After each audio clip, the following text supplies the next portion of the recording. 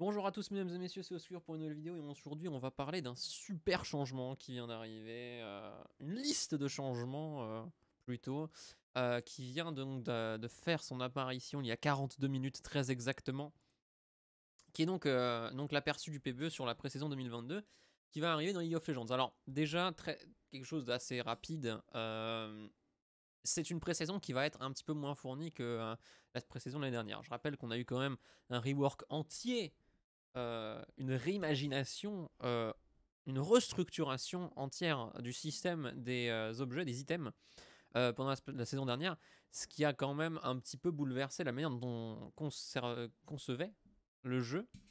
Et bah, cette, ce, rework-là, eh il va être prolongé un petit peu dans cette pré-saison 2022, au lieu d'avoir une nouvelle introduction de, nouveaux trucs complètement euh, qui vont complètement euh, changer euh, la phase du jeu.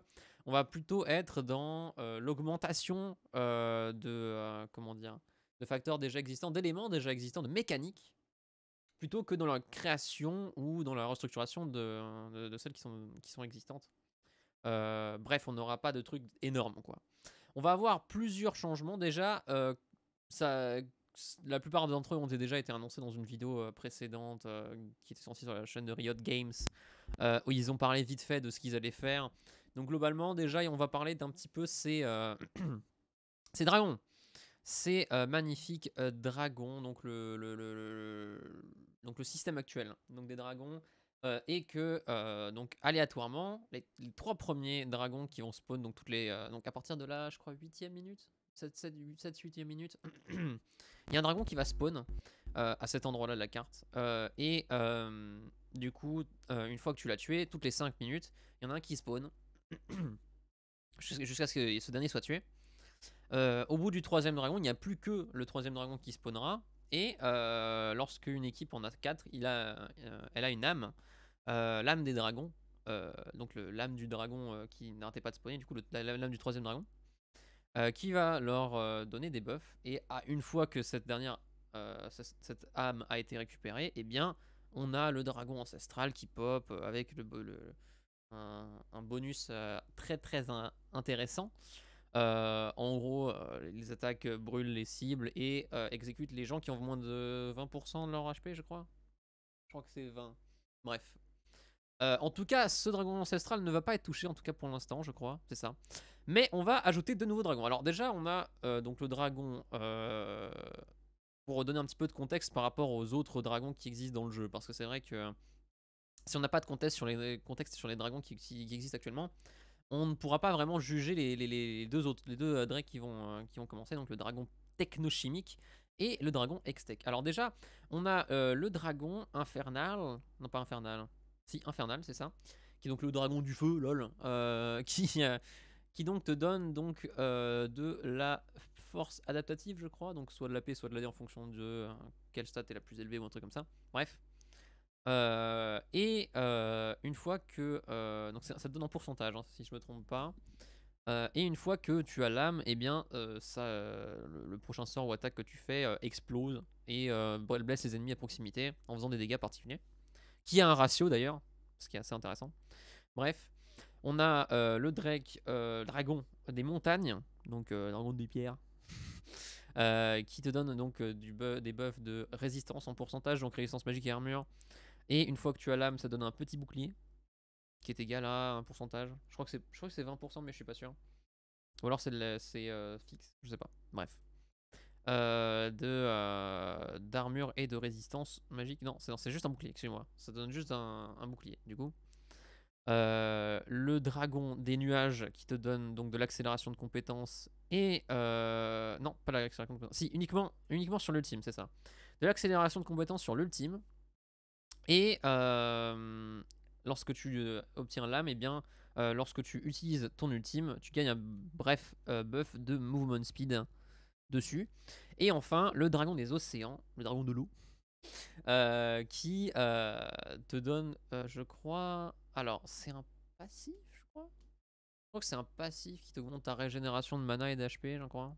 En tout cas, ça t'augmente ta régénération de mana et d'HP. Et l'âme, c'est à peu près la même chose en plus gros, quoi. Bref.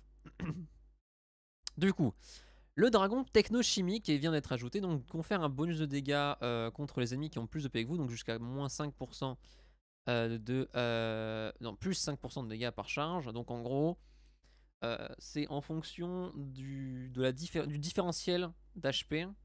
ça va donner donc des dégâts supplémentaires contre la cible que tu te bats contre lequel tu te bats, je suppose. Alors, ils disent des ennemis, donc ça veut également parler des mobs de la jungle et des monstres épiques. Euh, je rappelle que les drakes ont 5790 HP, donc euh, voilà, euh, vous, allez, vous allez les avoir, c'est moins 5% de dégâts. Je vais, je vais continuer de lire moins 5 alors que c'est plus 5, c'est incroyable, bref.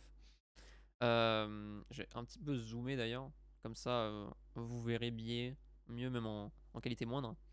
Bref, donc un bonus de dégâts contre les ennemis qui ont euh, plus de PV que vous, très bien. Donc c'est une sorte de Dominique. Alors euh, c'est intéressant parce qu'on va voir les buffs plus tard. Sachez qu'il va y avoir des nouveaux items, sachez qu'il va y avoir des, trucs hein, euh, qui vont être ajoutés. Et on va en reparler une fois que on aura vu le premier item qui fait ça, ce qui va être assez rapide.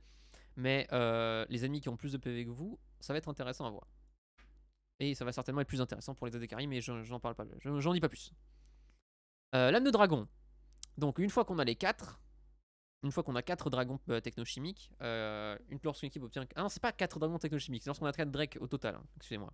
Putain, j'arrive pas, j'arrive même pas à résumer, euh, à, réciter mes gammes euh, sans faire de faute, quoi. Bref. Lorsqu'une équipe obtient l'âme du dragon technochimique, tous ses champions reçoivent un bonus qui leur confère une courte deuxième vie quand ils meurent. C'est basiquement un passif de Sion si vous le connaissez. En gros, vous mourrez, ça met que vous avez été tué, ça donne les goals d'adversaire, ça donne le triomphe, euh, machin, tout, le bordel. Toutes les runes qui proc euh, sur, euh, un kill. Mais, mais, mais, mais, mais, le, le champion qui est mort ressuscite brièvement et peut derrière faire des trucs, mais sa vie descend graduellement, de plus en plus, et il finit par donc mourir, basiquement une deuxième fois, mais pendant ce temps-là, il peut quand même faire des dégâts. Donc, euh, jusque là c'était juste le passif de Sion. D'ailleurs je sais pas trop comment est-ce que ça va se passer avec Sion justement. Parce que j'ai pas testé parce qu'il y a... Je vais pas vous le cacher, cette âme était déjà présente, euh, je sais pas si c'était le cas pour le buff standard, mais cette âme était déjà présente dans un mode de jeu qu'ils ont introduit plus tôt qui était donc le Spellbook, le Ultimate Spellbook, euh, qui en, anglais, donc le grimoire ultime, comme ça, en, français. Euh, donc, euh, j'ai pas pu tester ça avec Sion, donc je sais pas comment se passe l'interaction. Est-ce que c'est d'abord le Drake et ensuite son passif, ou est-ce que c'est d'abord son passif ensuite le Drake? J'aurais tendance à penser que c'est d'abord son passif et ensuite le Drake. Mais, euh, mais voilà. Ah non, non, non, ce serait d'abord le Drake et ensuite son passif. Parce que... Ah, c'est chiant. Parce qu'en fait, tous les champions sont censés recevoir un bonus qui leur donne une courte deuxième vie. Mais du coup, si c'est alors, ça devrait être plutôt d'abord le passif de Sion et ensuite le Drake. Mais si c'est le Drake en deuxième, il va retrouver ses sorts, parce que les, sorts de Sion changent en fait lorsqu'il est sous passif. Donc normalement je pense qu'il va retrouver ses sorts de base une fois qu'il aura terminé son passif à lui, et qu'il va retrouver le passif du Drake, avant, avant de mourir une troisième fois du coup. Ou une quatrième s'il a un GA. Ou une cinquième s'il a un, un ulti de sur la gueule. Mais voilà, en gros, c'est ça. Et donc au niveau du terrain, parce que c'est vrai que chaque, euh, le, terrain se transforme euh, en fonction donc de, euh, du, dragon qui va spawn, enfin en fonction du troisième drake, basiquement, en fonction du troisième dragon. Et du coup, lorsque le terrain se transforme pour le dragon technochimique, donc la, carte technochimique, je suppose, eh bien les, des zones de gaz émergent dans quatre lieux de la jungle et ces zones de gaz camouflent tous les champions euh, dans la zone et les ennemis camouflés ne sont pas révélés par les balises de vision normales, mais sont révélés par les balises de contrôle, les fleurs de vision et autre chose qui, ne, révèlent les unités invisibles.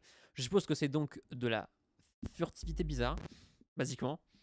En, gros, il y a deux types d'invisibilité dans League of Legends, c'est le camouflage et la furtivité, je crois. C'est ça. Donc le camouflage, c'est basiquement, euh, tu es invisible, en effet, c'est beau, mais je crois que tu es toujours spotable euh, par les pinks, et euh, donc les, les balises de contrôle, comme, comme ils les appellent. Euh, et peut-être les, les fleurs de vision, mais je suis pas sûr. Et surtout, généralement, les, champions qui peuvent se camoufler ont une petite, zone autour d'eux, une range, comme, une, leur portée d'auto-attaque, basiquement, mais ça, peut dépendre.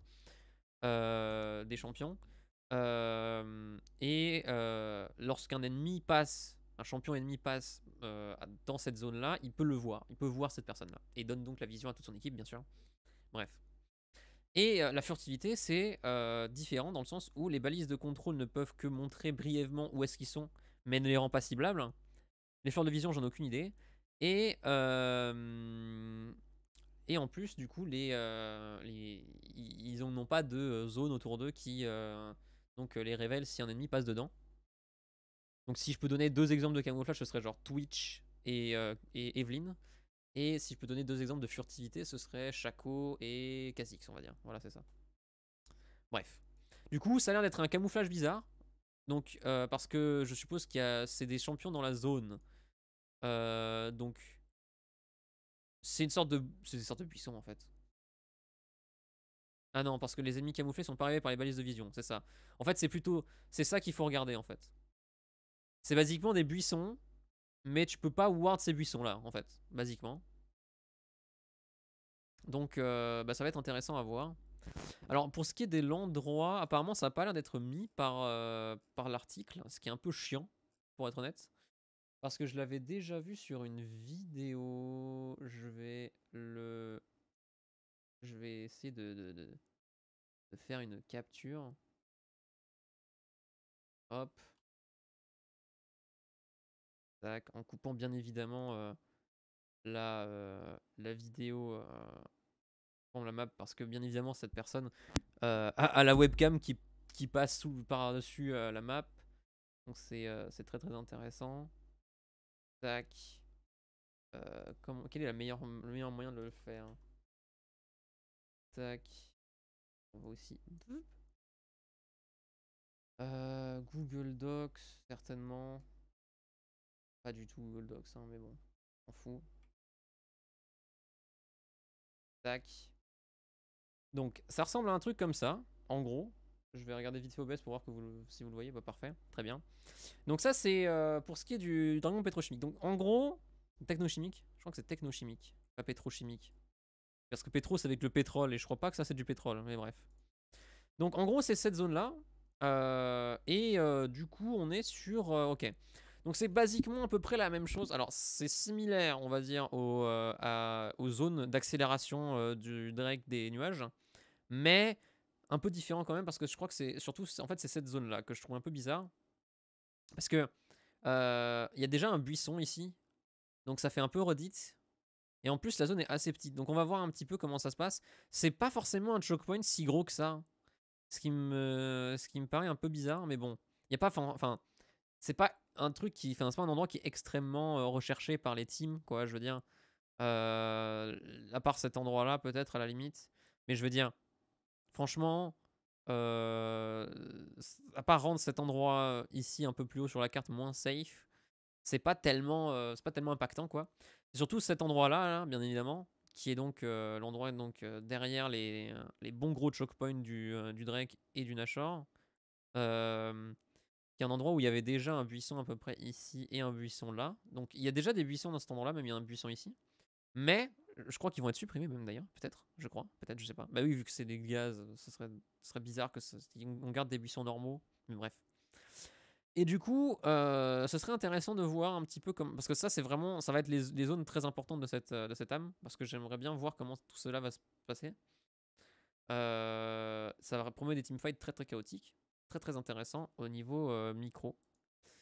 Euh, et ensuite, on a le dragon Hextech. Alors, le dragon Hextech, lui, euh, il confère de la vitesse d'attaque et de l'accélération de compétences à l'équipe qui porte le coup de grâce. le coup de grâce, on s'en fout, on est d'accord. D'accord, ça n'a pas de sens. Oui, ok, d'accord. Ils, ont balancé ça, ils ont balancé ça, mais je croyais que, enfin, c'est pas la même nomenclature entre guillemets que euh, que, plus loin. Mais bref, en tout cas, ce que ça veut dire, c'est que ça donne de la vitesse d'attaque et de l'accélération de compétences. Donc plus 5 d'accélération de compétences et plus 5% de vitesse d'attaque par charge. Donc on peut être à 20% euh, de vitesse d'attaque max et 20 euh, d'ability haste. Ce qui est quand même pas mal. Ce qui est quand même pas mal. Hein. on a également, donc oui, ça c'était 20% en plus, hein, ça aussi, maximum. mais c'est quand même pas mal en tout cas.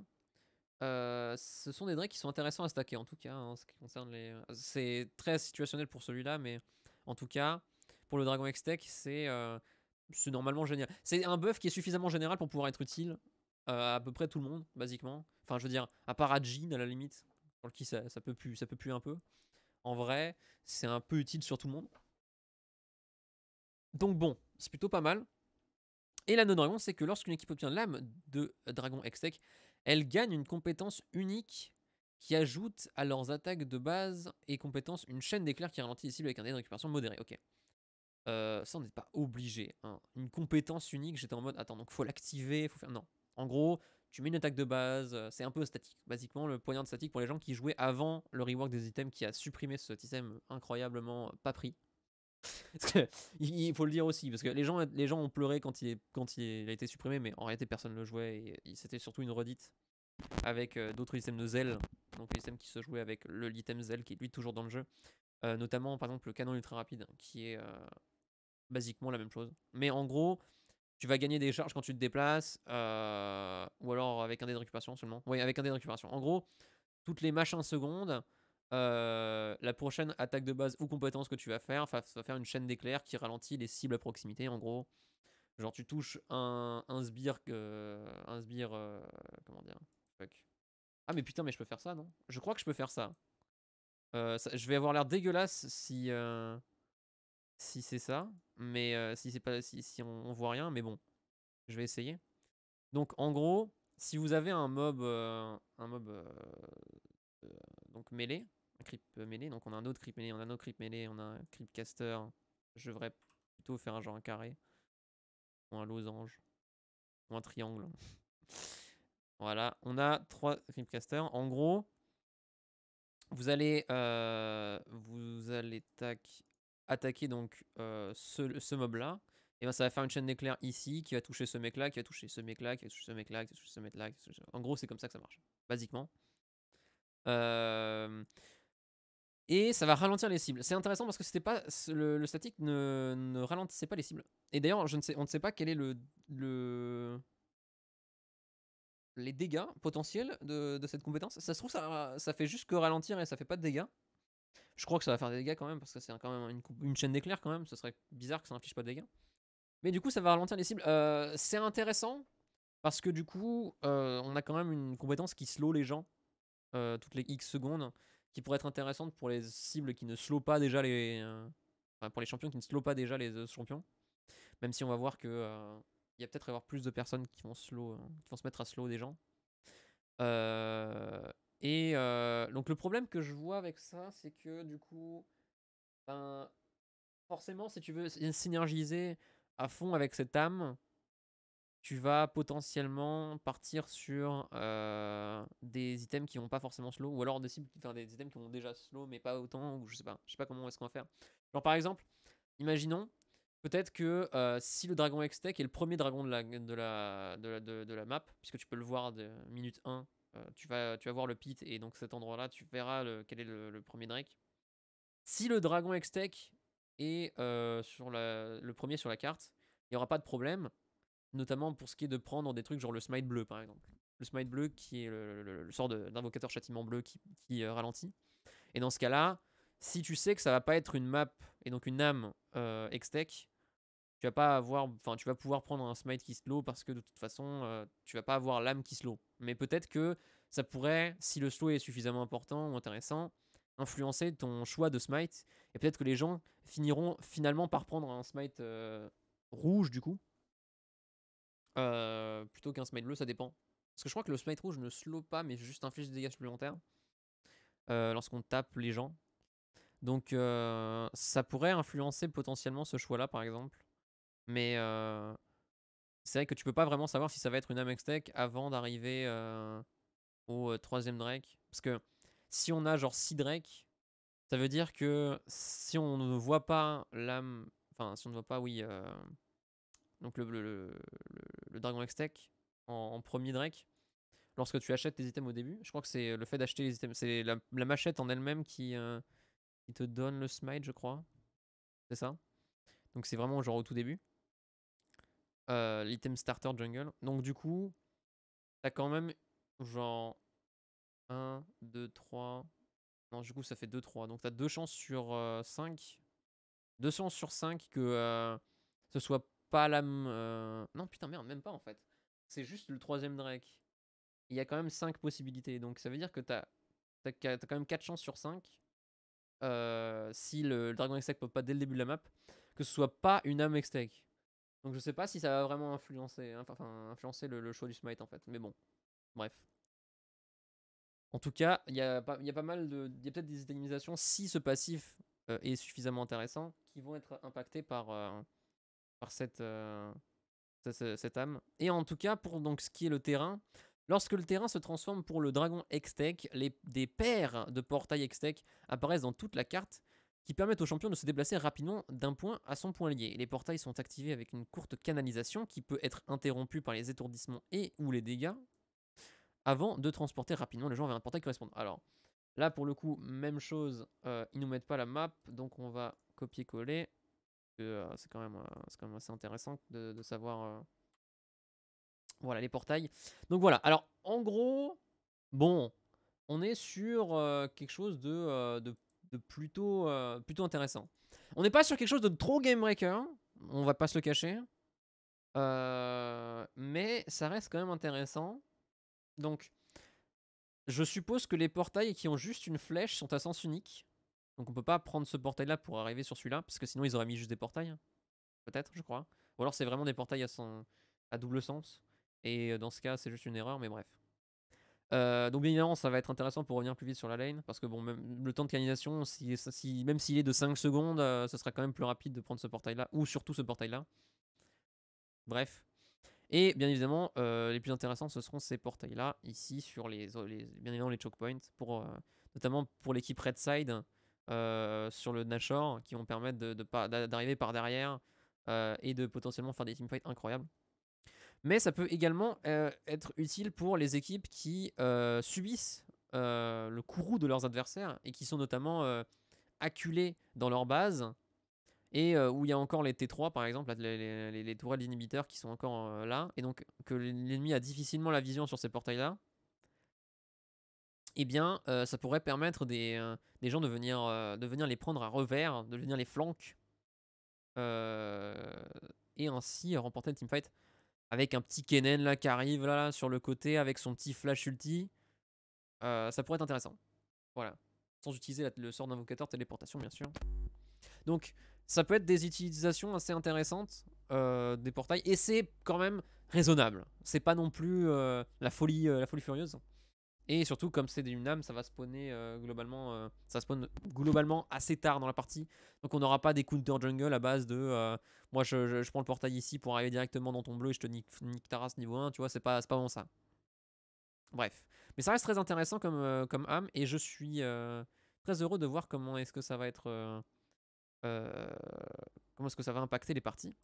Et euh, je suis content qu'ils aient pas gardé les portails du, trailer, hein, parce que les portails du trailer faisaient très, très peur, euh, parce qu'on pouvait, on pouvait genre, j'avais l'impression qu'on pouvait genre aller dans des endroits verticales, genre vraiment passer d'un côté à l'autre de la map, et ça m'aurait un peu fait bizarre. Hein. Ça aurait un peu rendu le, le, le, jeu un peu, un peu chaotique, on va pas se le cacher, parce que genre tu, fais, tu te fais chier à faire awarder toute la toute la map bot side et toute ta map ici pour, pour le Drake. Puis il y a des gens qui TP ici pour arriver par derrière. Enfin, ça n'a aucun sens. Mais là, c'est un peu plus mesuré, quoi. C'est un peu plus mesuré. Même si ça va avoir quand même un énorme impact sur les teamfights, bien sûr. Bon, les primes d'objectifs. Alors, les primes d'objectifs ne s'activent lorsque lorsqu'une équipe a suffisamment de retard sur l'autre. Elles sont mises en subbrillance pour, sur la mini-carte pour les autres équipes. Alors oui, ça, ils, en avaient parlé pour, dans la vidéo, rapidement. C'est une mécanique pour encourager les comebacks des équipes qui sont plus nulles, non, qui sont moins bien dans la partie. Donc si une équipe perdante prend un objectif avec une prime active, tous les membres de l'équipe reçoivent des PO de la prime divisée équitablement. Les primes d'objectifs sont calculées à partir de quatre facteurs. L'avance d'XP, l'avance des euh, PO, donc, euh, donc de l'argent en gros, euh, l'avance des dragons et l'avance des tourelles. Ok, donc voici les montants de base des PO supplémentaires gagnés en prenant un objectif avec une prime active. Donc c'est les montants de base et qui peuvent augmenter de 60% à, mesure que l'équipe perdante se fait distancer. Donc, Dragon Dragon Ancestral, 500 PO, Dragon Héros de la Faille, 500, Tourelle extérieure, 250, Tourelle intérieure, 400, Tourelle de base, 400. Ok. Donc c'est intéressant. Déjà, première chose, je vais, je vais juste parler d'un truc parce que euh, c'est quelque chose qui me fait un peu mal vu que je vois énormément de joueurs continuer à faire cette erreur et j'espère que ce changement va les pousser à aller dans la bonne direction. Et euh, cette erreur, c'est de prendre les tourelles trop vite dans la partie ou euh, dans des, à des moments qui ne sont pas forcément propices euh, à, puisque forcément derrière, tu peux pas forcément utiliser l'avantage que tu vas gagner, l'avantage positionné que tu vas gagner grâce à une tourelle. Donc par exemple, si tu viens de prendre un Drake, le deuxième Drake par exemple, et que tu peux derrière prendre la tourelle en bot lane, la première tourelle, la prends pas. La, la prends pas, parce que, en tout cas, la prends pas tout de suite. Si tu as de l'avance, du coup, euh, parce que déjà, ça va permettre au, euh, euh, parce que si on reprend la, map, parce que ça va me permettre de prendre la, de, repartir sur, sur une carte pour vous expliquer basiquement tout ça. Donc, si tu as la, la possibilité de Qu'est-ce que c'est que cette merde? Je veux dessiner, bordel. Voilà. Si tu as la possibilité de prendre cette tourelle-là après avoir pris ce Drake, et donc qui reste genre 4 minutes avant d'avoir un objectif intéressant, euh, ne la prends pas parce qu'en fait derrière la prochaine tourelle elle est là. Et donc tes sbires hein, qui arrivent ici eh ben ils vont pouvoir aller jusque là. Et là ça va être extrêmement chiant euh, euh, bah, de, de, farmer ces sbires là surtout si l'adversaire décide de les empêcher donc de, de mourir trop rapidement. Et donc s'autorise à ce que la prochaine wave qui arrive ici aussi se retrouve à peu près là.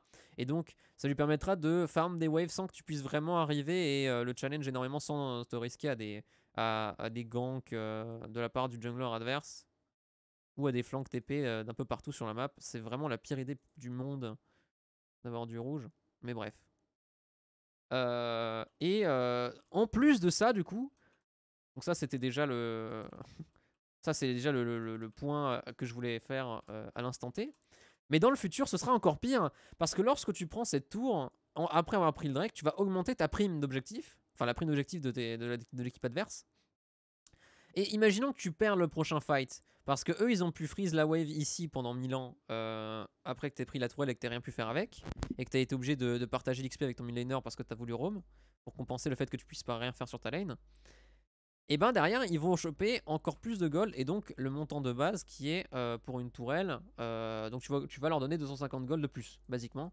En plus de l'argent que tu vas perdre euh, de l'échange. Bien évidemment ça c'est sans factor, factorer prendre en facteur donc ce que tu vas pouvoir faire avec cet avantage positionnel. Mais généralement vu qu'il n'y a pas d'objectif tu vas pas pouvoir vraiment utiliser cet avantage positionnel de manière très importante. Et en plus bah, l'argent que donne une tourelle est pas si énorme en réalité et donner 250 gold de plus à une team, c'est pas incroyable, c'est enfin, une plaque quoi. Basiquement, tu donnes une plaque à une, équipe, ce qui est quand même euh, assez chiant. Bref. Euh, et du coup, les primes ont, ont une période d'avertissement de 15 secondes lorsqu'elles s'activent et une durée de 15 secondes lorsqu'elles s'interrompent. Cette durée peut être prolongée si l'équipe perdante reste en combat avec une prime d'objectif active. Je sais pas comment, je sais pas ce que c'est que cette merde.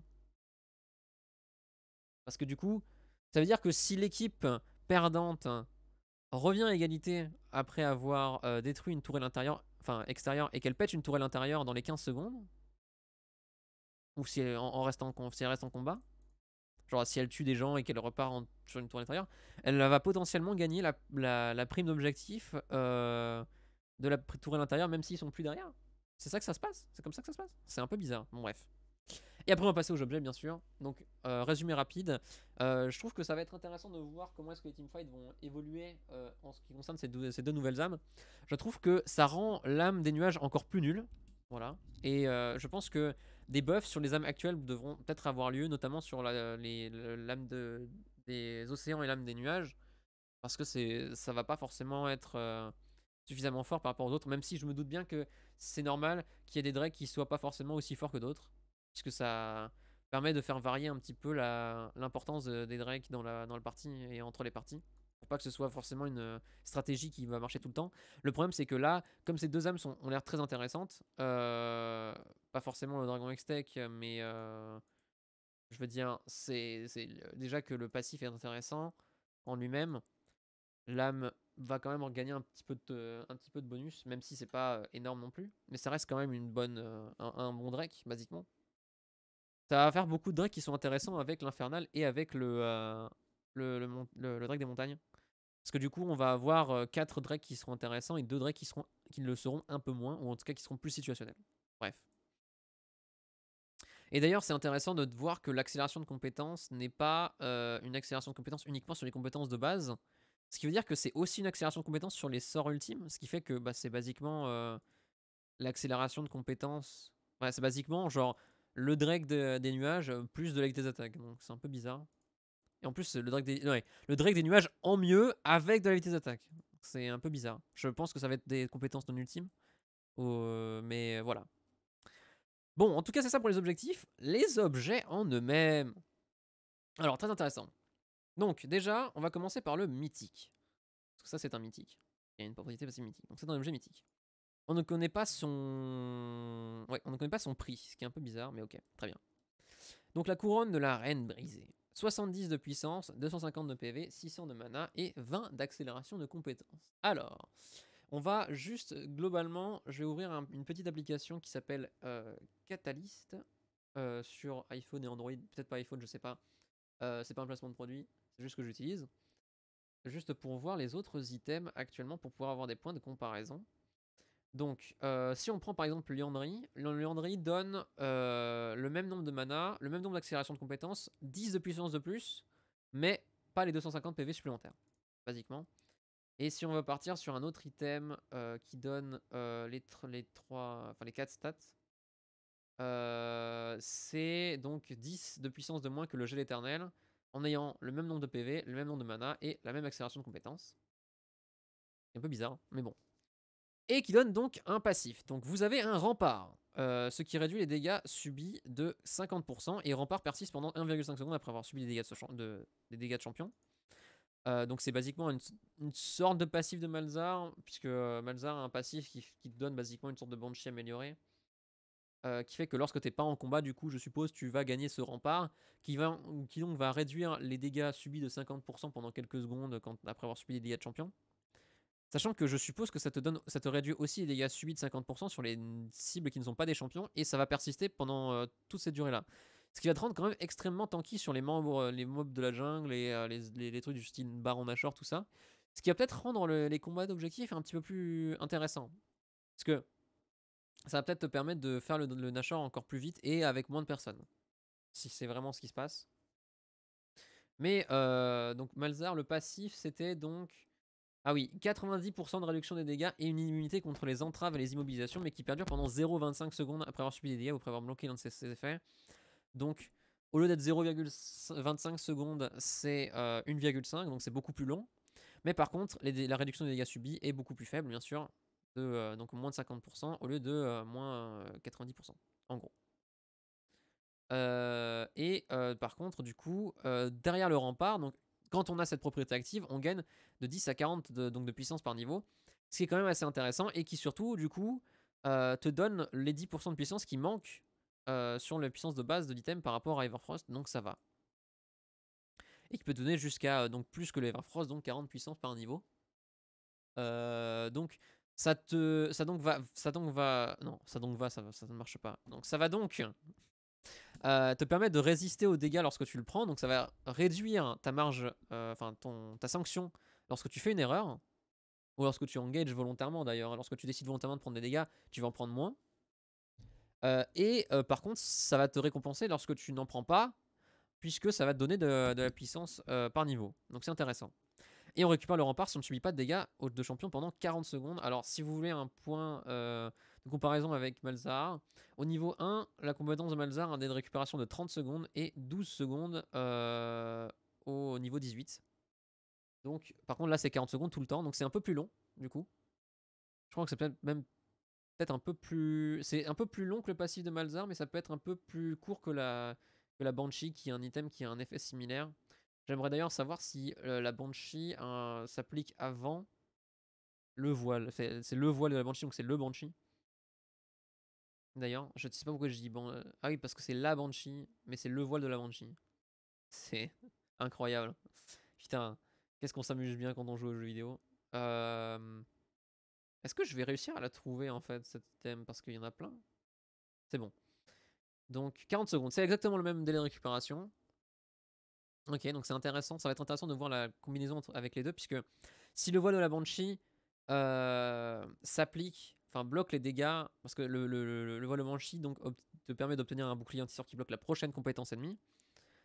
Euh, ça pourrait être intéressant de voir la combinaison, même si Rempart persiste, enfin Rempart s'enlève après avoir subi des dégâts, donc c'est pas forcément avec un spell. Donc ça peut être intéressant de voir comment ça va. Parce que du coup, les gens vont peut-être vouloir euh, mettre des auto-attaques avant d'utiliser un sort pour pouvoir déjà proc le rempart, mais bref. En gros, euh, ça pourrait être intéressant de voir si le voile de la Banshee s'active avant le rempart. C'est-à-dire que si tu te fais toucher par un sort, ça va proc d'abord le, voile de la Banshee et donc tu vas garder ton rempart. Ça peut-être te permettre d'obtenir, enfin de, prolonger donc le passif du rempart et donc de, puissance par niveau. Enfin de puissance du coup. Ce qui peut être intéressant du coup. La synergie entre ces deux items là. Et donc rendre euh, ces deux items basiquement plus forts. Basiquement en leur donnant euh, un passif de, puissance. Et par contre, la propriété passive mythique, donc 1% de vitesse de déplacement et 50 PV, c'est pas fou. Voilà, c'est pas fou de fou. Euh, euh, donc je crois, je crois avoir vu donc sur euh, une vidéo d'un, donc, que j'avais regardé précédemment sur un gars qui disait que c'était basiquement des bots tier 1 et un, cristal de rubis basiquement maximum. 50 PV Ouais. Si t'as 6 items, bon du coup 5 parce que les bots comptent pas, mais si t'as 5 items, donc 4 légendaires, ça va te donner 200 HP, donc c'est un peu plus qu'un cristal de rubis puisque le cristal de rubis c'est 150. Et voilà, c'est pas incroyable. Mais ce que je trouve pas incroyable aussi, c'est du coup, alors ça c'est intéressant parce que c'est euh, quelque chose que j'avais aussi euh, vu euh, en, juste en, entendant les rioteurs parler de cet item avant le pendant la vidéo de présentation de la pré-saison. ils ont l'air de dire que c'est un item pour les, pour les champions poke. C'est pas un item de champion poke. What the fuck? C'est pas du tout un item de champion poke. C'est Déjà, un champion poke n'a pas besoin de PV en fait, déjà de base. Donc, euh, je sais pas, tout ce qui est Vel'Koz, Xerath, Ziggs, ils n'ont pas besoin d'HP. Alors peut-être que peut-être qu'avec les prochains items dont on va parler plus tard, ils vont avoir des HP, donc ils vont en avoir besoin. Mais de base, c'est pas des stats qui sont incroyablement intéressantes, mais même au-delà de ça, ça va être surtout intéressant sur euh, les champions qui euh, ont besoin d'avoir ces résistances enfin, plus que les autres et qui pourront du coup les activer et en profiter pendant de, enfin, dans euh, plus de scénarios. Donc basiquement, les champions à engage, les champions euh, AP bruiser, donc euh, Diana, je sais pas moi, peut-être, bon, je sais pas, pas forcément Rumble, puisque Rumble a peut-être tendance à vouloir rester en, en long range avec son ultime, mais je sais pas, peut-être même Shivana, je sais pas. Silas aussi peut-être, même si... Ouais si en plus ça donne du mana, pourquoi pas Silas en vrai euh, Bref, euh, des, des, des, bruiseurs AP comme ça euh, pourront forcément beaucoup plus utiliser cet item là, puisque ça va leur permettre, et notamment des bruiseurs engage hein, bien sûr, puisque ça va leur permettre d'utiliser vachement plus ce passif. Et potentiellement les champions de jungle aussi peut-être, parce qu'avec avec le mythique obtenu, ça va te permettre de d'avoir un clear de jungle vachement plus fort, puisque ça donne de la puissance supplémentaire. Puisque tu vas pas gagner plus 10 au niveau 1, je suppose. Je, sais pas comment est-ce que la puissance va augmenter euh, en fonction du niveau, mais euh, si on peut avoir un 20 de puissance supplémentaire, euh, ça va peut-être avoir un léger impact sur le clear de jungle, mais pas forcément énorme.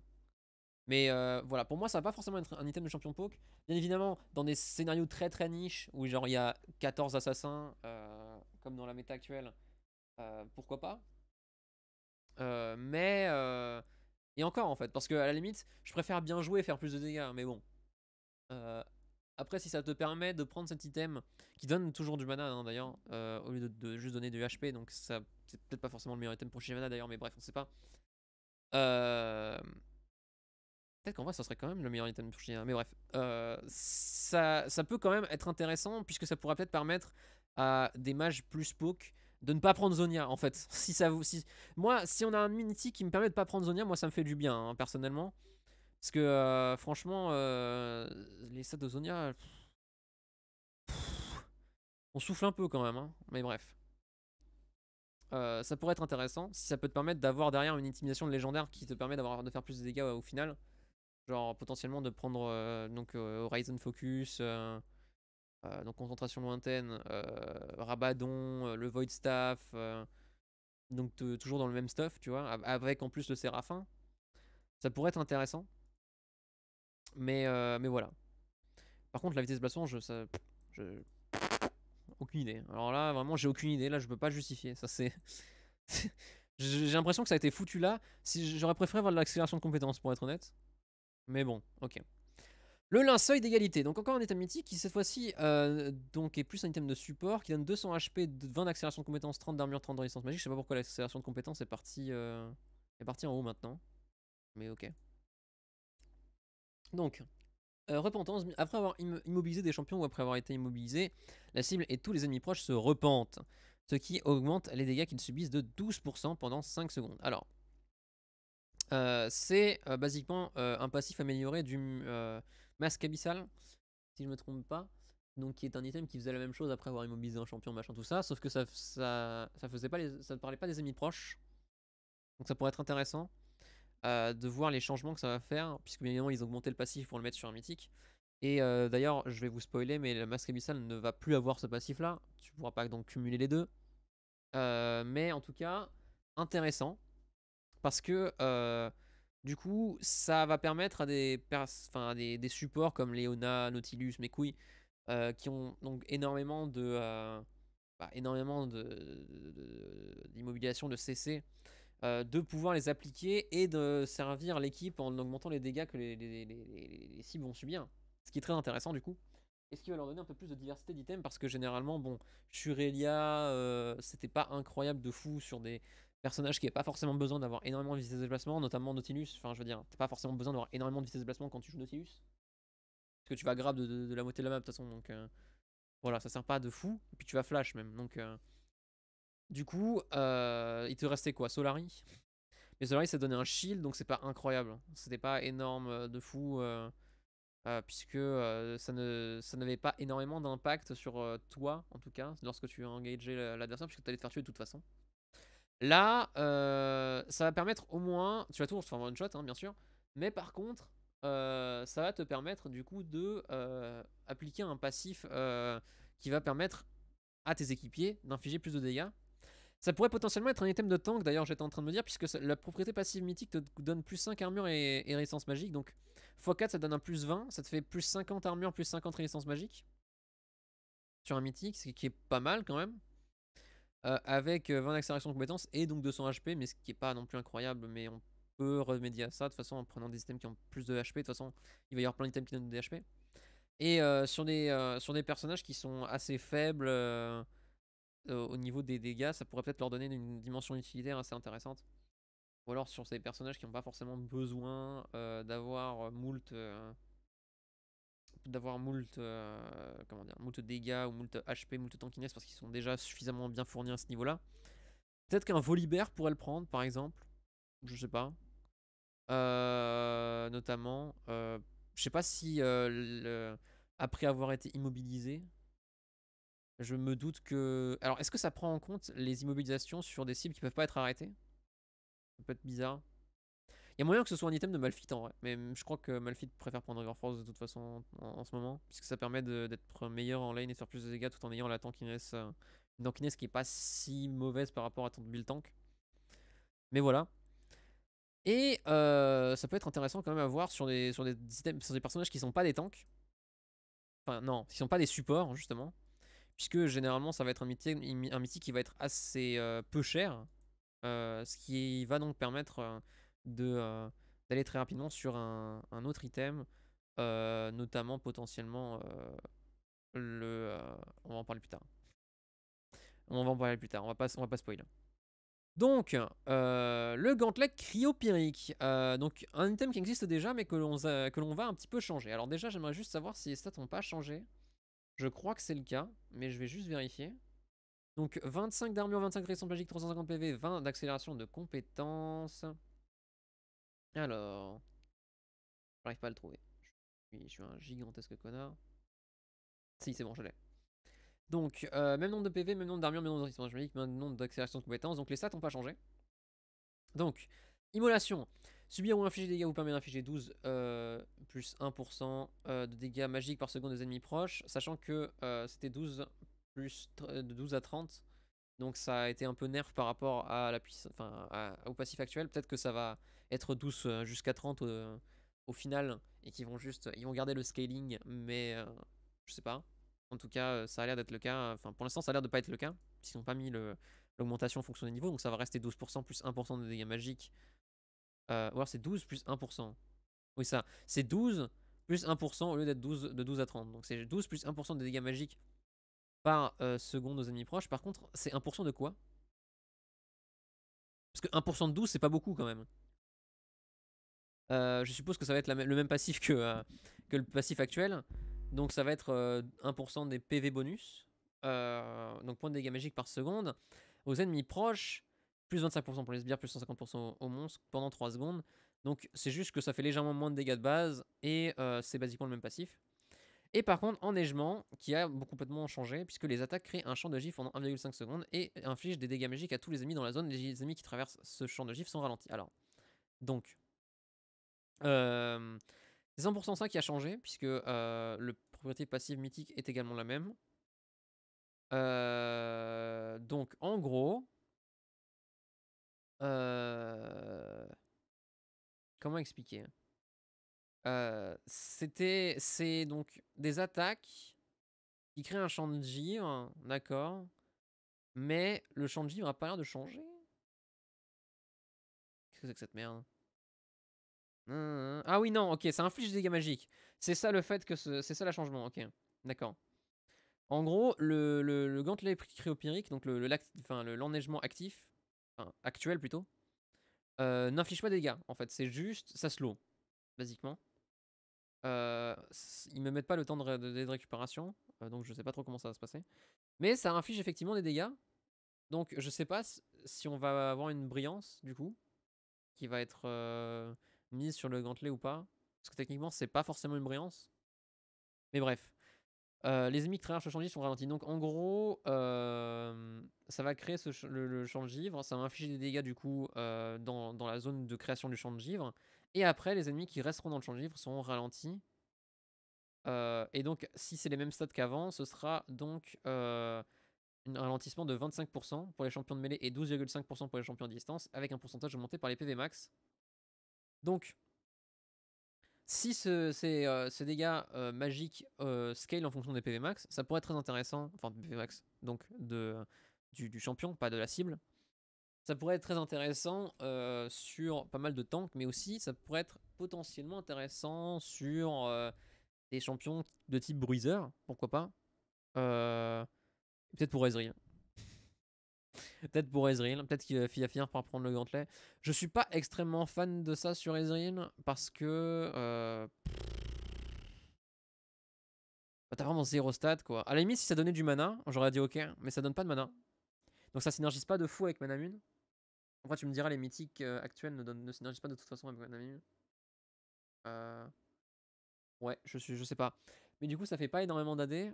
Euh... Ça scale pas aussi bien en ce qui concerne les dégâts. Ça va, il va forcément y avoir une itération de, Ezreal tank qui va être testée. Mais ça va certainement faire moins de dégâts pour être plus tanky. Mais je sais pas si être plus tanky avec Ezreal est euh, forcément un truc d'extrêmement impactant.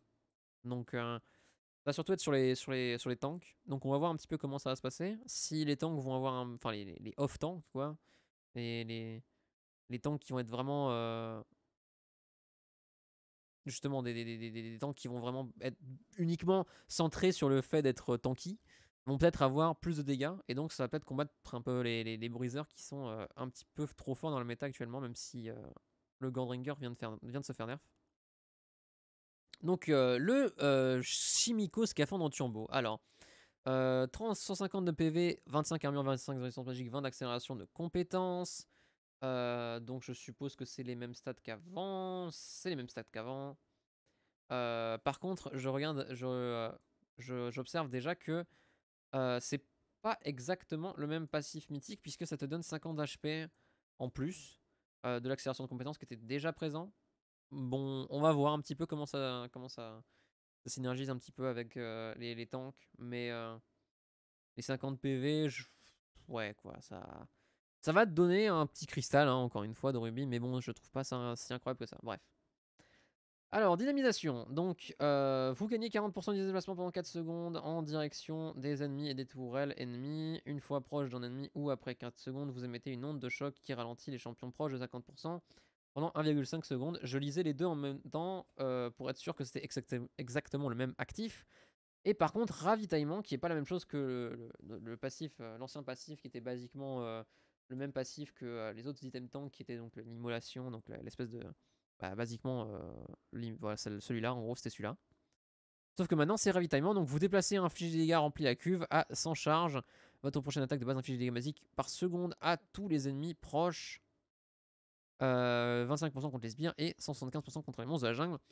Euh, ça va être intéressant de voir les dégâts que ça va faire parce que c'est basiquement une sorte de canon ultra rapide AD, basiquement. AD, non, canon ultra rapide tank euh, on va voir comment, quels sont ces dégâts magiques euh, infligés. Euh, et si ça va vraiment permettre de, de, péter les way aussi rapidement que, que donner. Mais si c'est suffisamment important, ça va pouvoir donner énormément de, de push à des champions, à défaut de leur donner du contrôle. puisque ça va donc c'est juste infliger des dégâts magiques par seconde. Hein. C'est pas, pas genre ralenti, c'est pas genre augmentation de dégâts. Non, c'est pas, pas incroyable non plus. Donc finalement, c'est le, paramètre atomique sur lequel on peut jouer, c'est surtout les dégâts magiques par seconde en fait. Euh, donc on va voir un petit peu comment est-ce que ça va se goupiller, comment est-ce que euh, euh, ça va être équilibré. Mais c'est vraiment le seul paramètre atomique sur lequel on peut on on peut jouer avec peut-être la, la, rapidité avec laquelle on remplit les charges. Mais bon, ça va vraiment dépendre entièrement des dégâts magiques par seconde. Donc on va voir un petit peu comment est-ce que ça va euh, être équilibré par Rito Games. L'approche de l'hiver, donc un item légendaire, premier item légendaire euh, qui est donc le euh, Manamune slash Archange tank, basiquement. Puisque ça donne des PV, du, mana et de l'accélération de compétences. Donc 400 d'HP, c'est quand même un bon petit bébé, hein, c'est un beau bébé. Euh, puisque euh, on est sur un... Alors, est par rapport aux chaînes de Natema, par exemple, on est sur doit 250 HP de moins quand même. Euh, mais si on compare, par exemple, euh, est-ce qu'on pourrait avoir la mana Moon? Voilà. C'est autant de mana, autant d'accélération de compétences, mais c'est juste que les 35 d'AD sont remplacés par les 400 de, de, de, PV avec donc l'effroi qui est à peu près la même chose que donc le passif de la mana sauf qu'au lieu d'avoir donc des dégâts d'attaque bonus équivalent à 2,5% du mana max, c'est des PV bonus équivalent à 8% du mana max. Donc ça va être intéressant de voir le, comment est-ce que combien d'HP on peut on peut avoir avec avec ce bordel parce que 8% du mana max ça me parce que 8% de 500, on est à 8 x 5, 40 d'HP, rien, enfin bonus, rien qu'avec le... Ah non, c'est 500, putain, c'est 400, c'est pas 500. Donc c'est 32, c'est ça? Ouais, c'est 32. Donc c'est 32 d'HP supplémentaires, donc 432 de PV, rien qu'en achetant l'item, en réalité, du coup. Et ça, c'est sans compter le mana du champion, le, le stade de croissance en mana du champion également euh, au niveau euh, euh, auquel il va acheter l'item, ainsi que du coup le, mana qu'il va obtenir grâce à un mythique éventuel, s'il prend un mythique, avec du mana, même si ça n'existe pas encore sur les tanks, parce que je sais pas pourquoi. Mais ouais. Visiblement, Riot n'a pas envie de donner du mana à des items qui sont pas des items AP. Euh, donc, euh, si vous voulez être tanky, n'hésitez pas à prendre le gel éternel, basiquement. Ça pourrait être un item de Malfit. Ça pourrait être un item de Malfit. Même si ça fait quand même deux items que tu prends quand pas d'armure, ça pourrait être un item de Malfit. Puisqu'en plus, ça te permet de prendre la tire, parce que je me doute bien que ça va être un item à, à, tir. Ça pourrait prendre la tire euh, en lane, ce qui va donc régler un peu tes problèmes de mana, en plus d'avoir le, le et donc, du coup, charge de mana, lorsque tu touches une cible avec une compétence ou une attaque, vous consommez une charge et gagnez 3 mana. Le gain de mana est doublé si la cible est un champion. Vous octroie un maximum de 360 mana, puis certainement en Fimbulvet. Euh, je vais pas dire ce mot. Euh, 400 d'HP, donc toujours les mêmes. Je crois que c'est bizarre, ça. Je crois que c'est bizarre parce que... Euh, parce que, parce que... Euh, c'est pas forcément... Ouais, c'est bizarre. Parce que normalement, je crois que le... le- les items améliorés, genre le bâton de l'archange ou le, mur à mana. Ah non, il te donne le même nombre d'AD, j'ai rien dit. J'ai rien dit, c'est le même nombre d'AD, donc c'est le même nombre d'HP.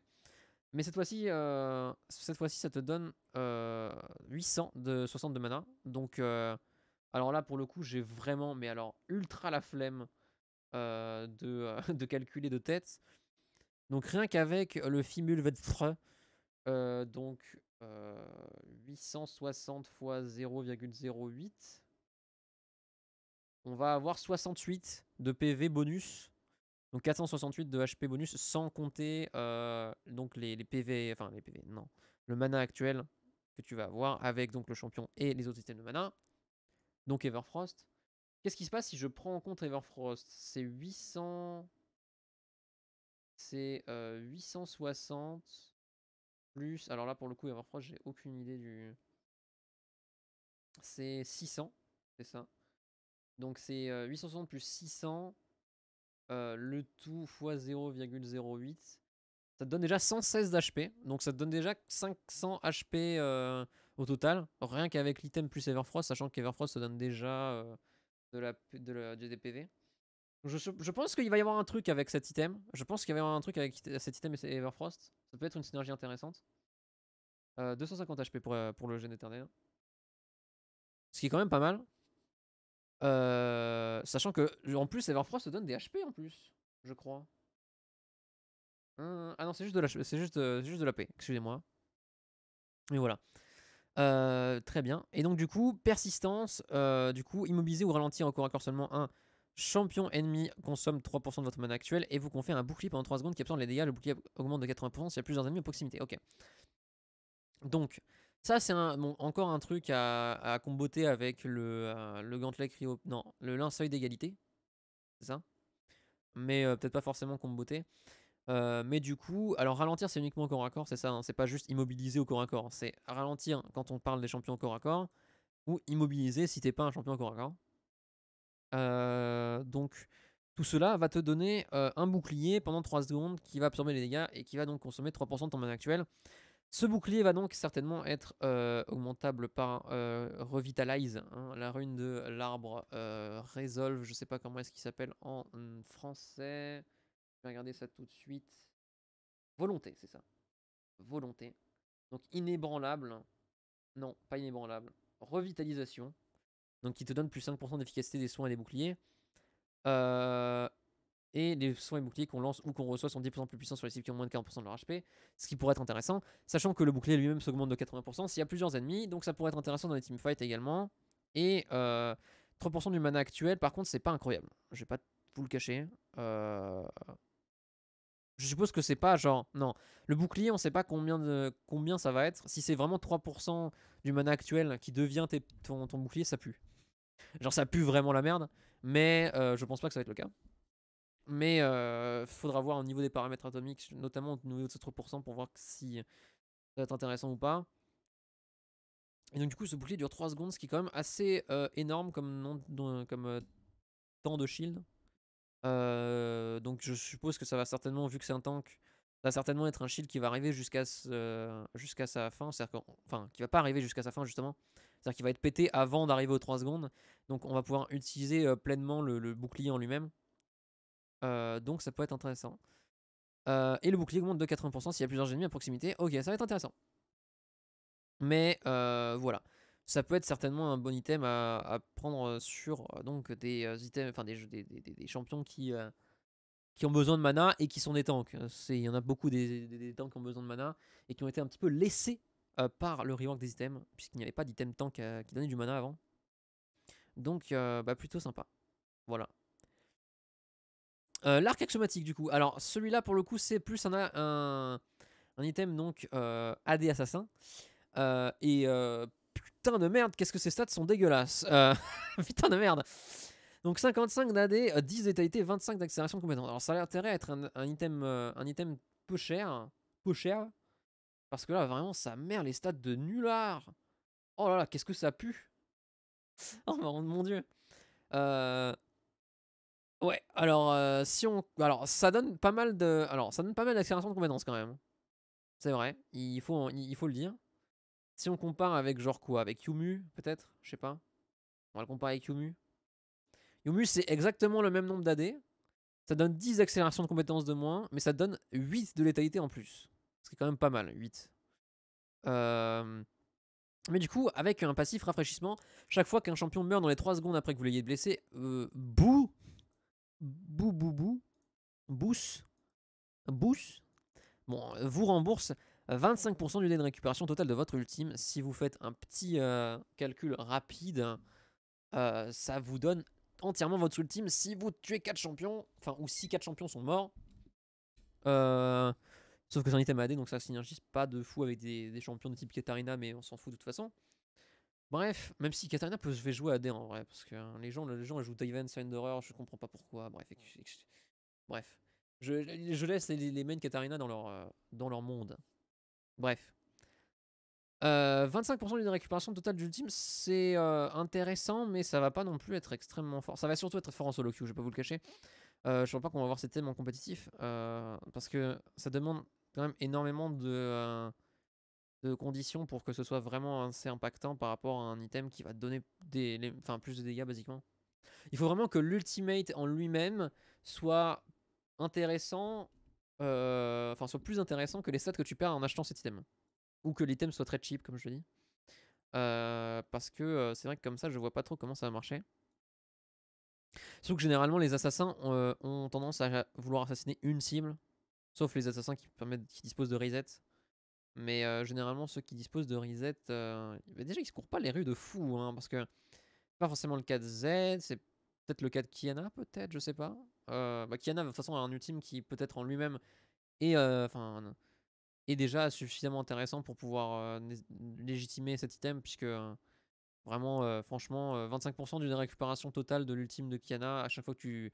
Mais pas forcément que tu tues un mec, c'est que un gars est tué et que tu lui as infligé des dégâts dans les 3 secondes. Donc c'est très intéressant. donc franchement, ouais, sur Kiana, je le vois bien. sur d'autres sur d'autres champions type assassin qui qui euh, ont un ultime très intéressant, pourquoi pas.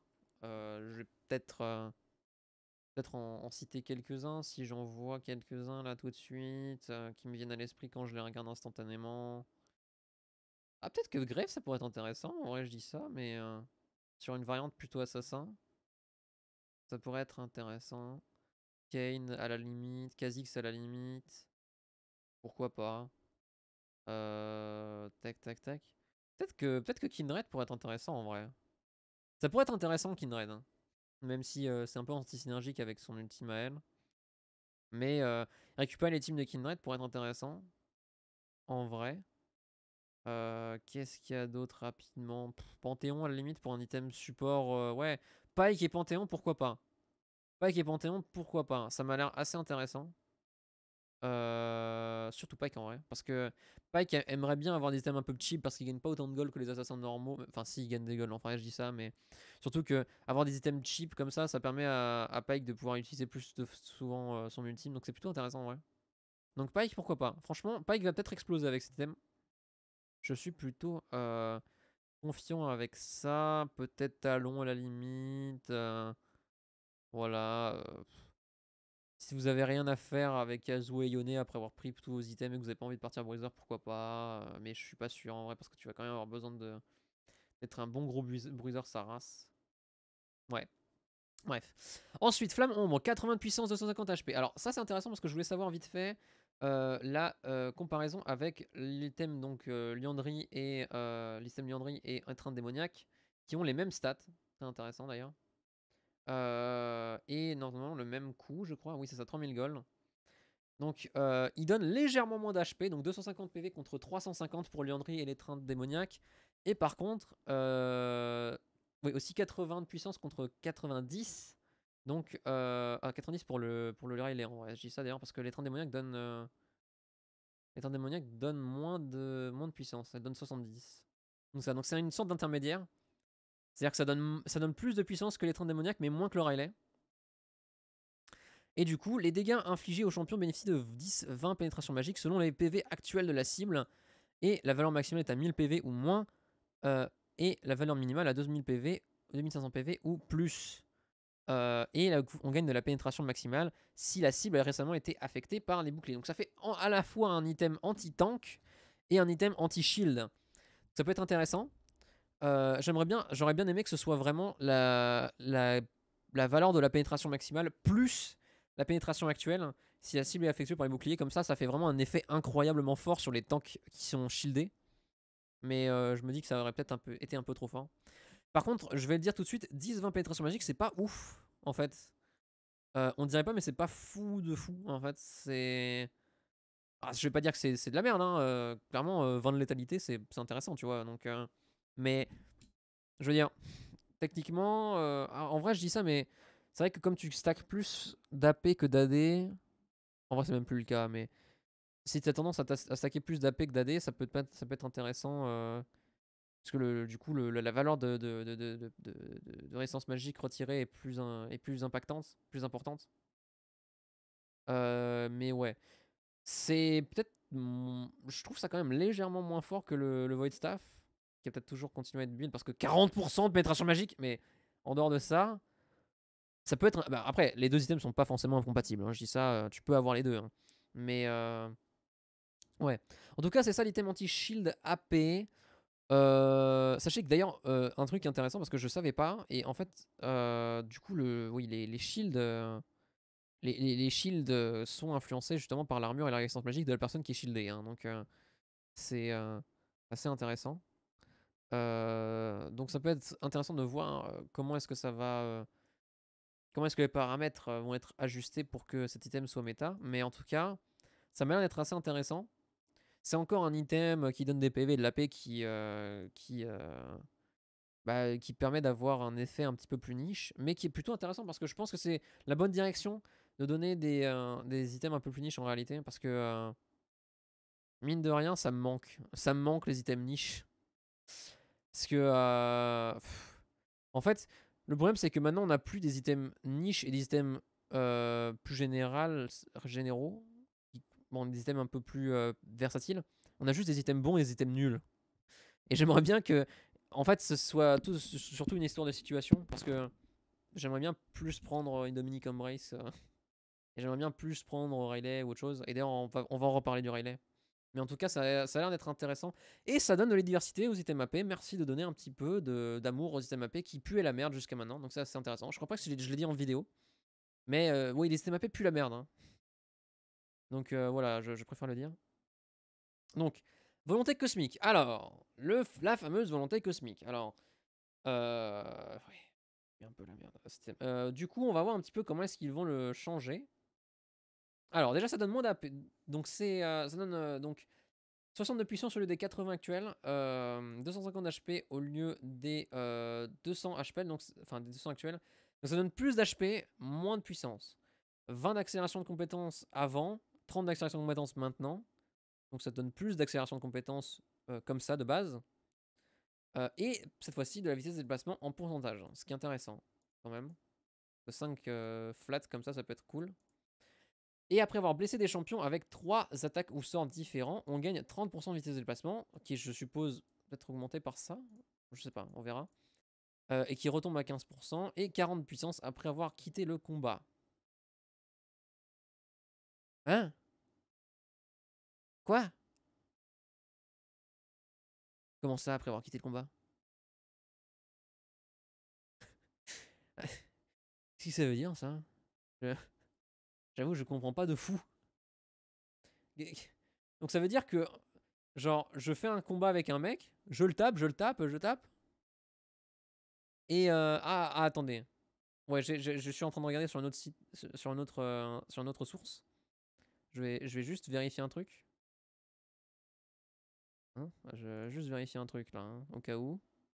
Parce que. Euh, faut quand même. Euh, il faut quand même être sûr là, vite fait. Ok. Tac, tac, tac, tac, tac. Cosmic Drive, Cosmic Drive, Cosmic Drive, Cosmic Drive. Until Living. Ouais, c'est bien ce qui me semblait. Donc c'est pas après avoir quitté le combat, c'est jusqu'à ce que tu quittes le combat. c'est un petit peu différent. C'est légèrement différent. C'est-à-dire que avoir 30% de vitesse de déplacement et 40%, 40 de puissance après avoir quitté le combat, bon, ça, ça m'est pas ultra utile. Je vais pas vous le cacher. Et euh, Voilà, c'est... euh, ok, c'est peut-être mieux du coup. Oui, ok. Euh, par contre, c'est pas du tout 40 de puissance par contre. Si, c'est 40 de puissance? Ok, c'est intéressant. 40 de puissance, c'est cool. C'est cool de fou 40 de puissance par contre. Ça, te fait, ça, ça fait augmenter le, le, le, le capital puissance du Cosmic Drive énormément. Donc c'est plutôt cool en vrai. Euh, c'est plutôt cool en vrai que ce soit ça. Euh, et euh, du coup, ça donc, te fait monter à 100 de, 100 de puissance.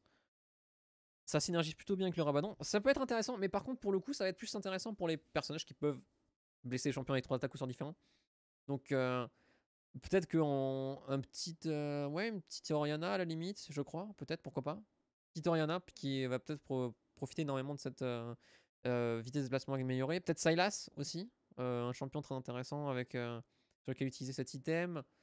Peut-être Victor aussi. Victor aussi qui pourrait être intéressant. En fait, tous les utilisateurs de Phase Rush, basiquement.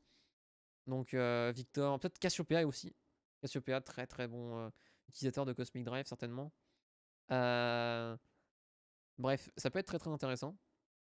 Mais surtout des items, enfin surtout des personnages qui ont les moyens d'utiliser trois sorts différents euh, rapidement.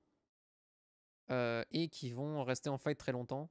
Donc pas forcément des, des pokeux, pas forcément des Vel'Koz, des Xerath et tout ça, mais des champions un peu plus, un peu plus mid-range, un peu plus contrôle. Les control mages. Les control mages. Euh, Est-ce que Malzar peut...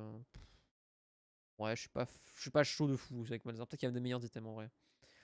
Ah, la fameuse concentration lointaine ou Horizon Focus qui me fait m'arracher les cheveux parce qu'à chaque fois je me dis mais putain mais en fait cet item est trop bien si j'avais 7 items.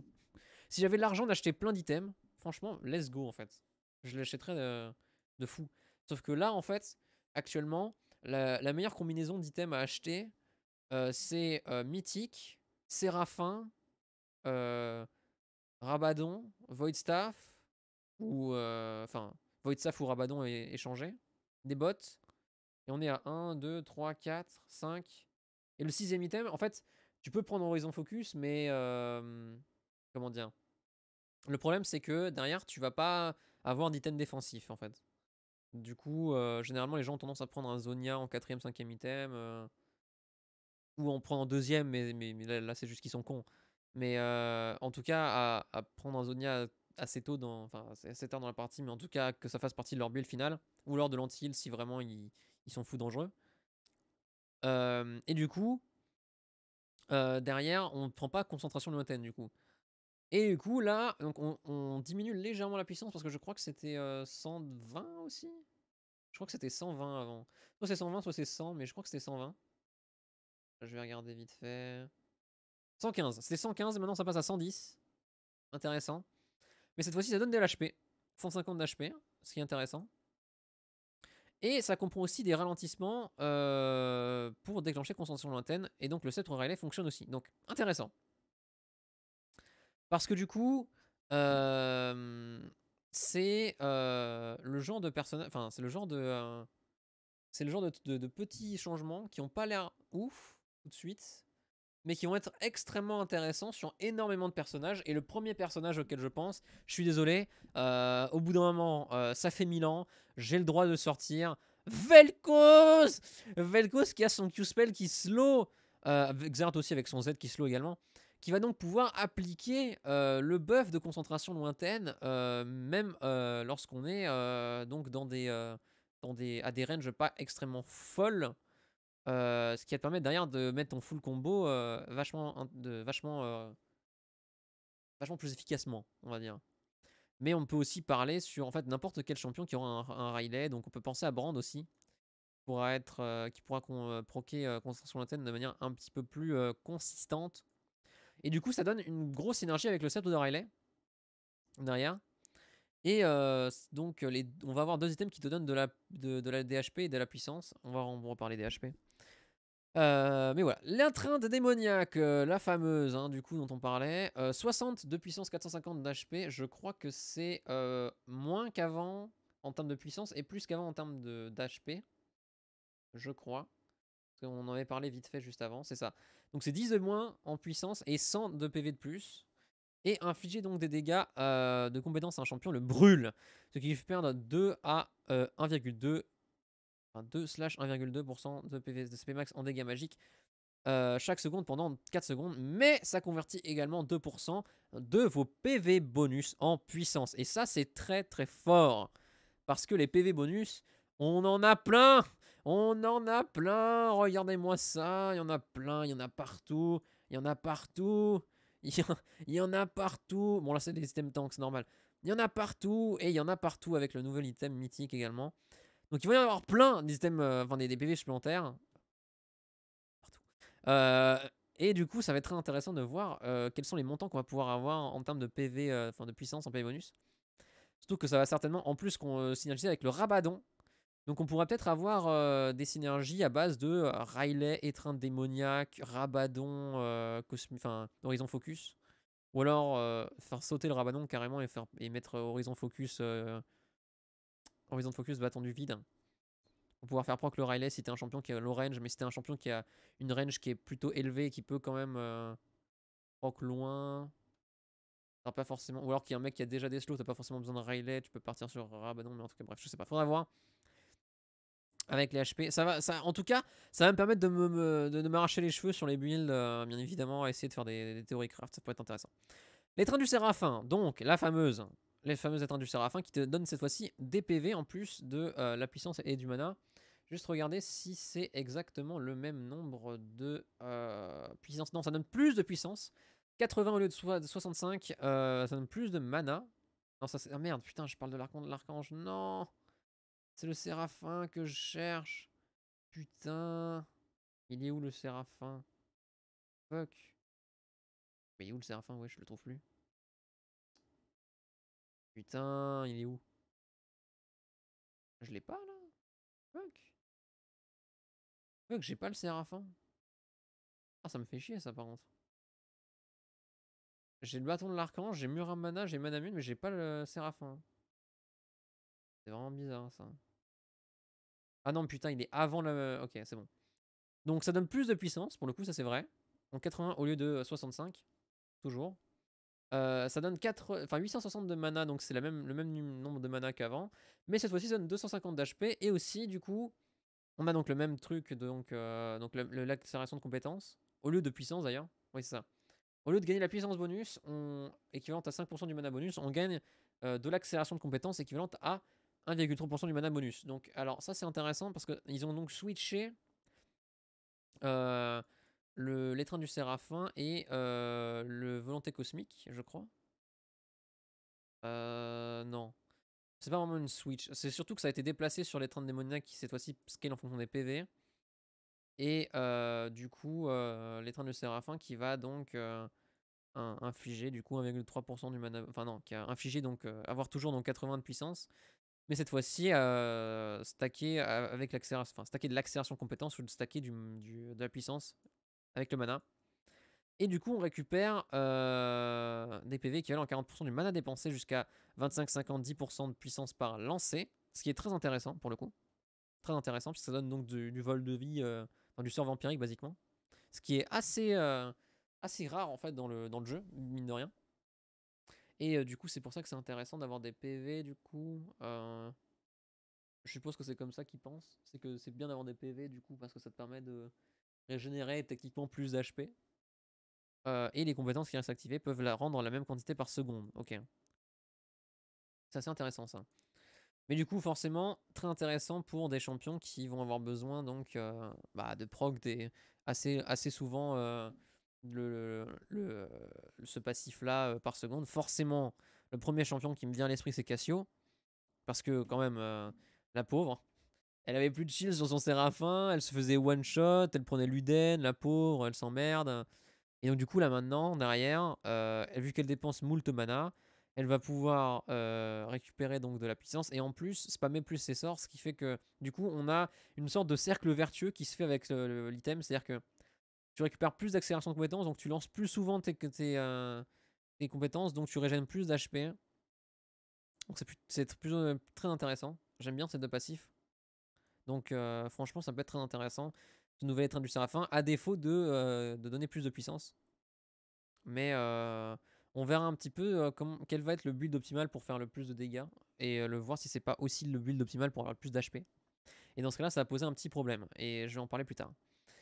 Donc, la force de la nature. 350 HP, 70 de résistance magique, 5% de vitesse de déplacement. Mais ça, par contre, cette fois-ci, subir des dégâts magiques des champions ennemis confère une charge de immuable. Max 6 et les effets qui mobilisent les ennemis confèrent deux charges supplémentaires. Alors, du coup, euh, ces 6 charges immuables, qu'est-ce qu'elles font? Euh, Eh bien, lorsqu'on en a 6, on subit 20% de dégâts magiques réduits et on gagne 10% de vitesse de déplacement. Alors, c'est très intéressant. Parce que du coup, c'est un item tank, enfin tank anti-résistance magique, enfin anti, anti AP du coup, qui est, qui ma foi a l'air très très fort. Parce que du coup, alors par contre, pour, ah oui, ok, attendez, parce tac, oui, ok, ça te donne pas d'idée de déplacement jusqu'à ce que tu aies toutes les charges, mais par contre, je crois que ça va être assez rapide d'en avoir. Et derrière, les 20% de dégâts magiques réduits sont assez intéressants. ça va certainement se clash avec L'item euh, de pénétration magique qu'on avait vu plus tôt, la flamme ombre, c'est ça. Surtout que c'est un item qui te donne euh, des HP, donc ça va être très intéressant de voir comment est-ce que ça va, euh, comment est-ce que ces items vont synergiser? D'ailleurs, ça donne 10 de résistance magique de plus. Je me doute bien que les chiffres sont, comment dire, qui sont provisoires, mais en tout cas, c'est intéressant de voir les, changements qu'ils espèrent voir, enfin, qui font en conséquence et donc ils augmentent la licence magique quand même. Euh, parce que je pense qu'ils pensent aussi que l'item était pas assez fort. Et peut-être aussi parce qu'ils ont vont augmenter le prix de l'item. Parce qu'actuellement il vaut 2900 gold, ce qui est pas incroyable, mine de rien. Du coup, je pense qu'ils vont augmenter le prix de l'item euh, pour euh, légitimer le passif ainsi que les stats.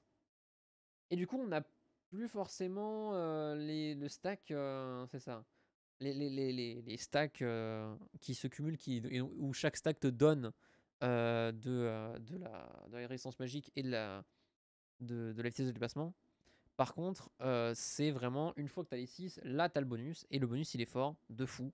Parce qu'au lieu d'avoir juste de la résistance magique en flat, tu as des, une résistance magique en pourcentage qui est vachement meilleure.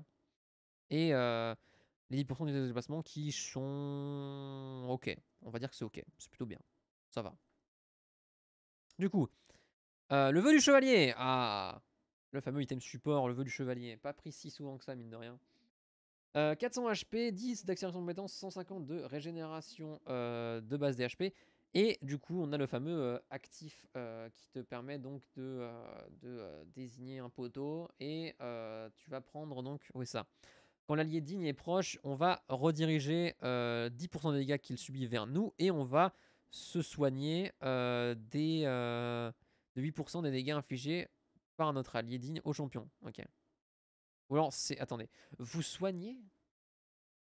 Vous soignez. En heal. Euh, je crois que c'est nous, hein, on est d'accord. Oui. C'est nous qui gagnons ces HP là. C'est pas genre on donne du vol de vie à, notre enfin à notre allié. Non, c'est nous qui nous soignons de 8% des dégâts que, que lui il inflige au champion. Et si Lady a moins de 30% de CPV, euh, eh bien la réduction des dégâts est augmentée à 20%. Très intéressant. Du coup, alors je vais juste comparer vite fait les stats. Même stats de PV, même stats d'accélération de compétences, et beaucoup moins de régénération de base des PV. Par contre, on, est, on a divisé par deux. et du coup, c'est on redirige moins de dégâts quand il a plus de vie et plus quand, on, quand il a moins. C'est ça. Et par contre, on se heal, ce qui n'était pas le cas avant. Avant, c'était justement s'il a moins de 50% de CHP, on lui donnait de la vitesse de déplacement, ce qui n'est plus le cas du coup. Plus de vitesse de déplacement supplémentaire. Et je trouve que c'est mieux de, se heal nous plutôt que de, de donner juste de la vitesse de déplacement à l'allié parce que ça permet de faire synergiser l'item avec lui-même. Donc ça lui donne plus de puissance. et bah, c'est plutôt bien. Moi j'aime beaucoup ce nouveau vœu du chevalier. Et j'aimerais bien le prendre sur des personnages qui ont, qui ont certainement des sacs à PV, mais qui n'ont pas forcément être extrêmement utiles, entre guillemets. Par exemple, je pense à Sion, potentiellement. Sion dans un fasting Senna qui pourrait être très intéressant avec le Velu Chevalier. Parce qu'elle va lui donner 400 HP, ce qui est quand même assez incroyable en termes de, de, montant d'HP. C'est-à-dire que tu peux prendre des Warmog, des Anathema, des tout ça. et du coup, ta Senna, elle sera vachement elle sera vachement bien euh, tankée. Elle tankera vachement, quoi, en gros. Donc c'est plutôt cool. Le masque abyssal. Alors, 400 HP, 30 de résistance magique, 10 d'accélération de compétences. Donc on avait dit qu'il allait, enlever son passif, hein, puisque le passif est donc euh, parti sur le mythique. Donc maintenant c'est quoi? Euh, Maintenant c'est quoi? Le principe du masque abyssal Qui donne, euh, le même nombre de, PV, mais beaucoup moins de résistance magique, deux fois moins. Et qui donne cette d'accélération de compétences maintenant. Eh bien, on maudit les champions ennemis, et ce qui réduit leur résistance magique. Et pour chaque ennemi maudit, on gagne 7 de résistance magique. Donc 7 x 5, 35. À la fin, si on est dans un team fight, on gagne 7 de résistance magique x 5, 35 de, résistance magique, ce qui nous donne 65 de résistance magique. C'est ça. Ce qui euh, est légèrement plus que le masque abyssal actuel. Euh, je pense pas que ce thème va être beaucoup pris. Je vais pas vous le cacher. Je pense que ça pue. Ah non, parce que ça réduit leur résistance magique. J'avais pas vu. C'est pas juste on gagne, c'est on, réduit. Ok, d'accord. C'est pour ça que ça donne moins. Ok. Parce que je vais vous le cacher que ça va être dur à proc, euh, ce truc de. Euh, de, euh, de réduire les. Enfin, de, enfin de, ça, va être bizarre. Hein. Ça va être dur à. d'affecter tout le temps les, les 5 champions ennemis. Surtout que s'il y a un mec qui crève. bah tu perds indirectement de la résistance magique. Donc ouais, ça aurait été un peu plus nul. Mais du coup, le fait de réduire leur résistance magique, c'est très intéressant pour le coup. Euh, c'est un peu l'ancien passif du masque à d'ailleurs qu'ils avaient enlevé. Donc euh, là ils le, remettent mais euh, d'une manière un peu changée, un peu tweakée. Et on va voir comment ça va se passer. mais ça peut être un bon item support pour le coup. Très intéressant. Même si je pense quand même qu'il va être pas fou de fou. Allez, c'est bon, c'est la fin des items, on y est presque. Mesdames et messieurs, on est à combien? On est à 1h26, c'est pas mal. On va peut-être atteindre les 2 heures. Non, c'est bon, ça va, on n'est pas si loin. Donc, tempo mortel. Alors, euh, on gagne des attaques pendant 6 secondes lorsque le champion frappe au moins un champion ennemi à chaque attaque et cet effet est cumulable jusqu'à 6 fois. Je suppose que c'est les attaques de base. Et lorsque cet effet atteint sa limite, vous gagnez aussi de la portée d'attaque et vous augmentez votre limite de vis d'attaque à 3. Alors, qu'est-ce qu'ils ont branlé? What the fuck? Euh, Alors attendez. Du coup, euh, déjà intéressant.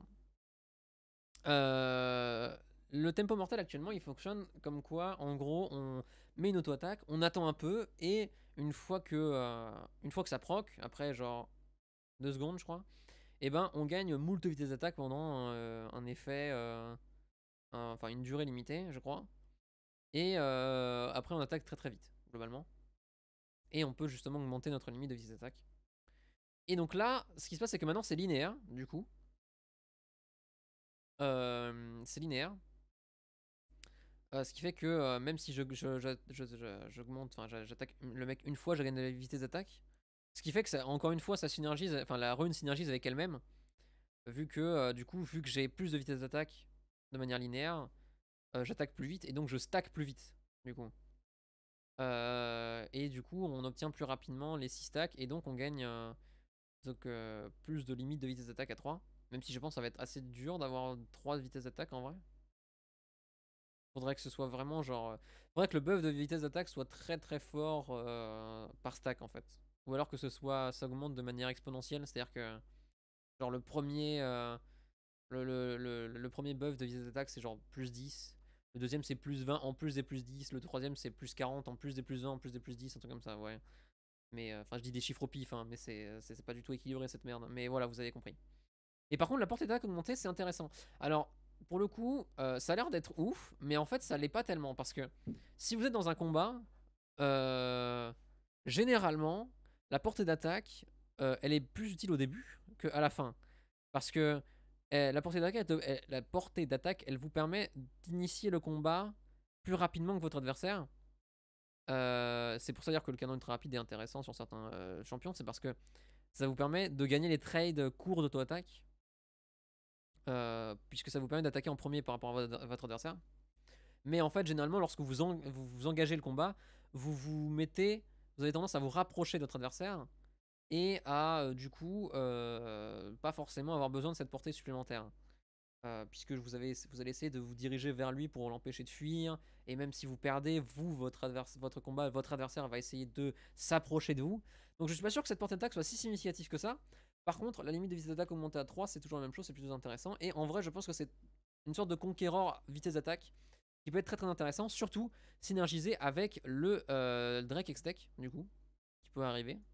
Donc, euh, qui va donner de la, vitesse d'attaque en plus. Donc, pourquoi pas Pourquoi pas, pourquoi pas. Et je trouve que, en tout cas, que le fonctionnement de, de Tempo Mortel est bien meilleur que le fonctionnement de Tempo Mortel d'avant. Je vais juste tac. Hop. Voilà. Donc, ensuite, on a quoi d'autre? On a... je vais juste... Tac. Voilà. Parce que j'ouvrais en même temps un petit peu Discord, histoire de voir quelques réactions. L'optimisation glaciale. Alors, c'est vrai que l'optimisation glaciale, putain, quelle situation de merde pour cette, cette rune. Qui n'est prise basiquement que par Senna. Je crois qu'elle est prise que par Senna et genre un autre perso. Senna, un peu Sion et un peu Ezreal. Voilà, c'est... Et quand je dis un peu Sion et un peu Ezreal, c'est vraiment genre très très légèrement quoi. Bref. Du coup. Maintenant, on a un truc qui est complètement rework. Donc, immobiliser un champion, le fort ennemi fera rejaillir 3 rayons glaciaux vers tout, vous et tout autre champion proche, ce qui créera des zones gelées pendant quelques secondes. Celles-ci ralentiront les ennemis de 40% et réduiront 15% des dégâts qu'ils infligent à vos alliés, mais pas à vous-même. Ok. Donc déjà, c'est une rune qui est plus focus sur euh, la défense que sur l'attaque, puisque c'est les, rayons qui jaillissent vers nous, et pas, euh, qui, et pas qui se... comment dire pas des, rayons qui se prolongent derrière la cible. Ce qui fait que ça va pas l'empêcher de fuir, par contre, ça va l'empêcher de venir vers vous. Et donc ça va les réduire, ralentir de 40%, ce qui est énorme, en vrai, 40%, puisque le Riley, c'est genre 30, je crois. Donc c'est euh, supérieur au Riley. Et...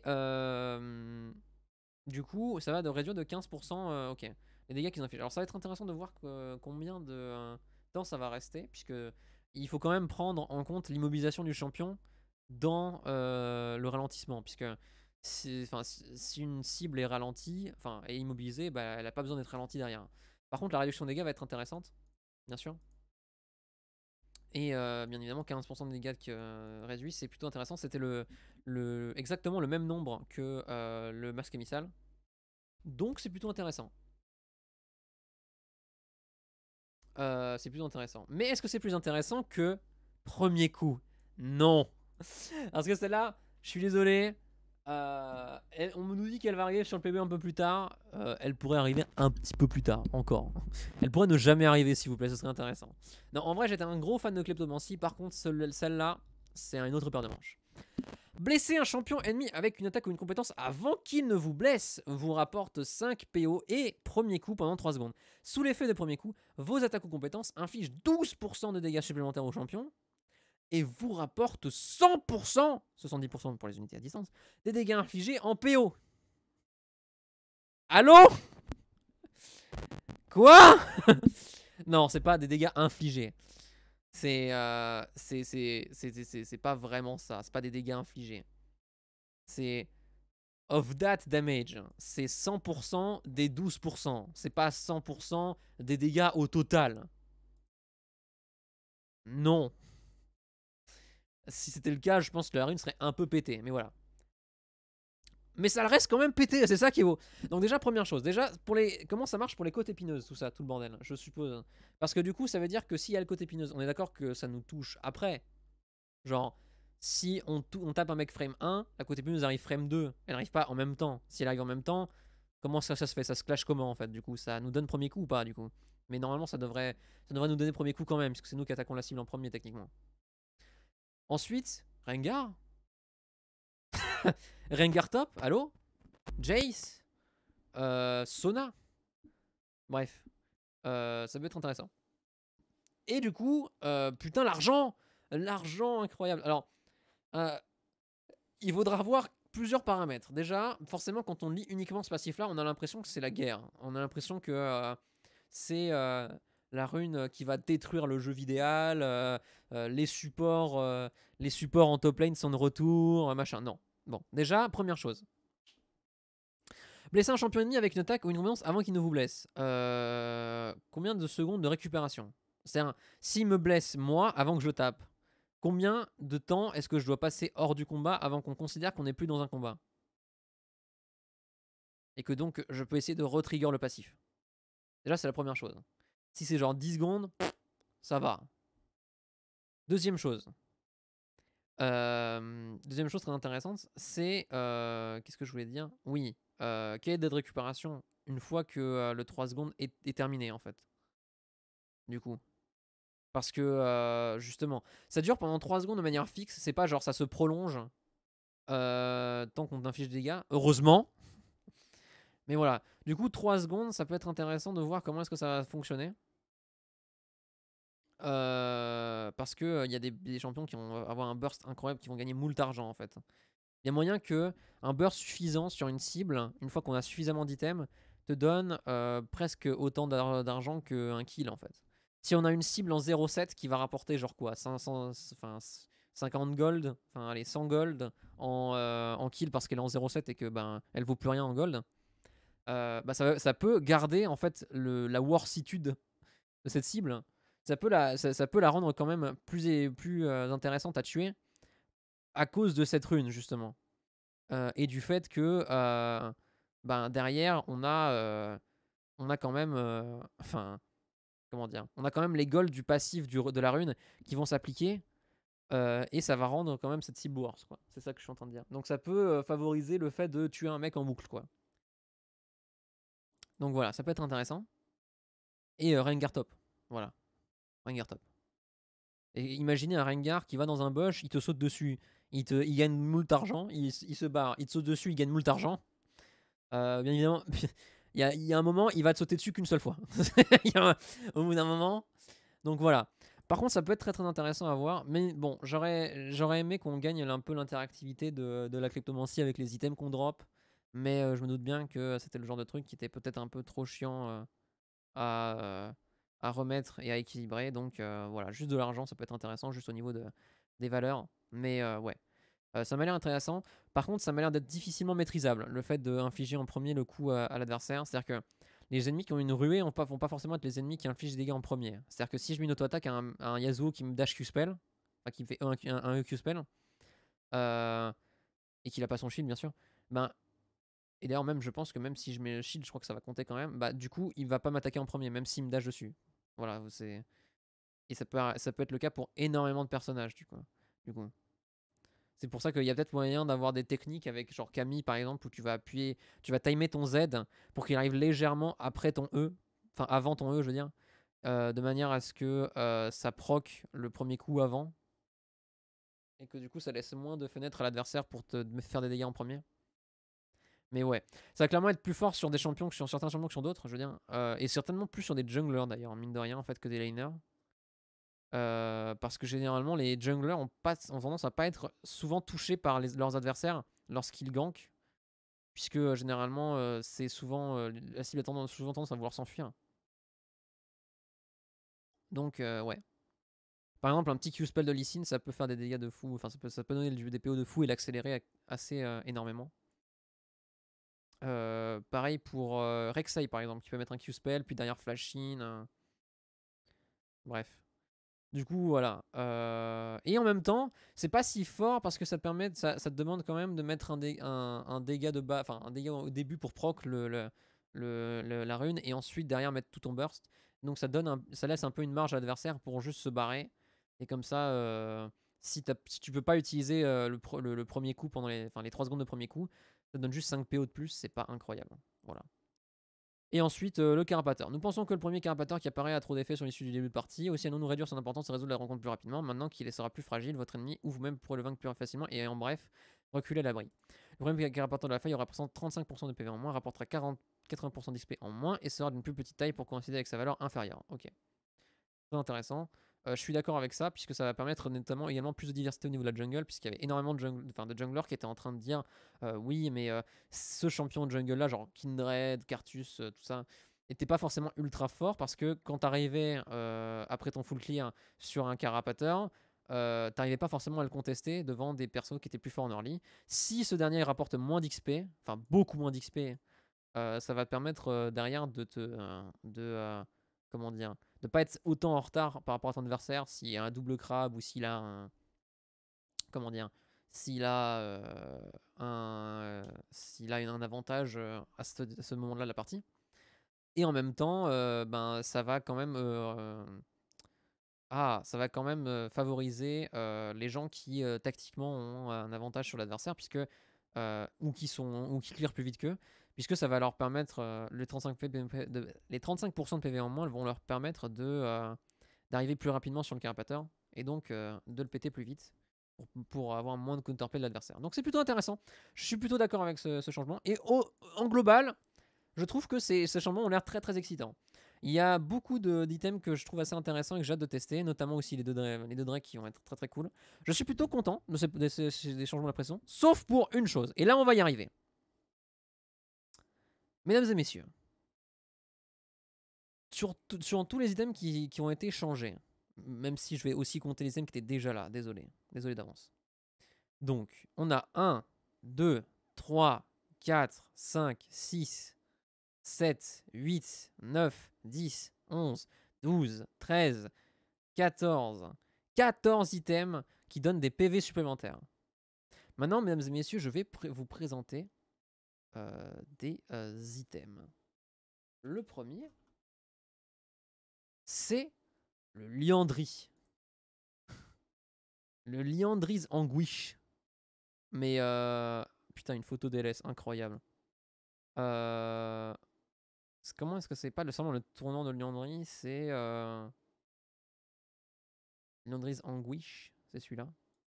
Donc, euh, alors, je vais juste, juste donner vite fait, je vais cliquer sur cette icône-là, et je vais juste vite fait vous donner le, le, le passif exact à l'instant T. Inflige jusqu'à 12% de dégâts magiques supplémentaires au champion selon les PV bonus de la cible, pourcentage max à 1250 PV bonus. Ensuite, je vais vous présenter le fameux Lord Dominique Regards. Voilà, celui-là. Cet item-là. Mesdames et messieurs, je vais le retrouver ensuite et je vais vous en parler. Il vaut 3, 3000 gold, je crois. Tac, tac, tac. Qu'il vaut un peu plus, peut-être. Je crois pas, hein. je crois qu'il vaut 3000 gold. Voilà, c'est ça. 3000 gold, c'est ça. Qui donne, donc, qui, donne un passif tueur de géants qui fait que vous infligez jusqu'à 15% de dégâts physiques supplémentaires aux champions qui ont plus de PV max que vous. Et les, PV max, les dégâts supplémentaires max sont atteints quand la différence de PV est supérieure à 2000. Donc, ces deux items-là vont être extrêmement forts dans la méta actuelle. Genre vraiment fort de fou. Parce que on a énormément d'items maintenant qui donnent des PV supplémentaires. Et donc, cette limite, euh, cette, euh, limite, mais ce palier de, euh, de PV va être extrêmement facile à atteindre. Et donc, ça va rendre euh, du coup ces items vachement plus forts et vachement, vachement plus forts plus vite aussi. Donc je vous conseille dans la pré-saison de vachement utiliser ces items, déjà qu'ils étaient plus forts que leurs homologues euh, de... qui font à peu près la même chose, genre le collecteur pour le, Dominique ou euh, le, Luden pour le, pour le. Mais en plus là ils vont devenir encore plus forts. Y a, vous avez encore plus de raisons de prendre ces items là en deuxième item pour le Dominique ou en mythique du coup pour le Liandry puisqu'ils vont extrêmement bien synergiser contre les items euh, de euh, bah, les items actuellement disponibles quoi. Euh, Qu'est-ce que j'allais dire d'autre? Euh, Tac tac tac. Oui. Euh, et après bien évidemment euh, si vous avez n'importe quoi qui scale en fonction des PV actuels, enfin des PV de la cible, n'hésitez pas à regarder un petit peu quelle interaction il peut y avoir avec tous ces tous ces ces items, notamment d'ailleurs, putain, j'allais l'oublier. Euh, ça là, exactement. Ça, ça peut être très très intéressant. Surtout sur les, sur les ADC du coup, parce que les ADC n'ont pas, ont tendance à ne pas acheter de PV supplémentaires. Euh, et attendre, à quand même être tanky grâce au shieldbow notamment. Donc euh, c'est pour ça que Dominique c'est au niveau des PV supérieurs par rapport aux autres.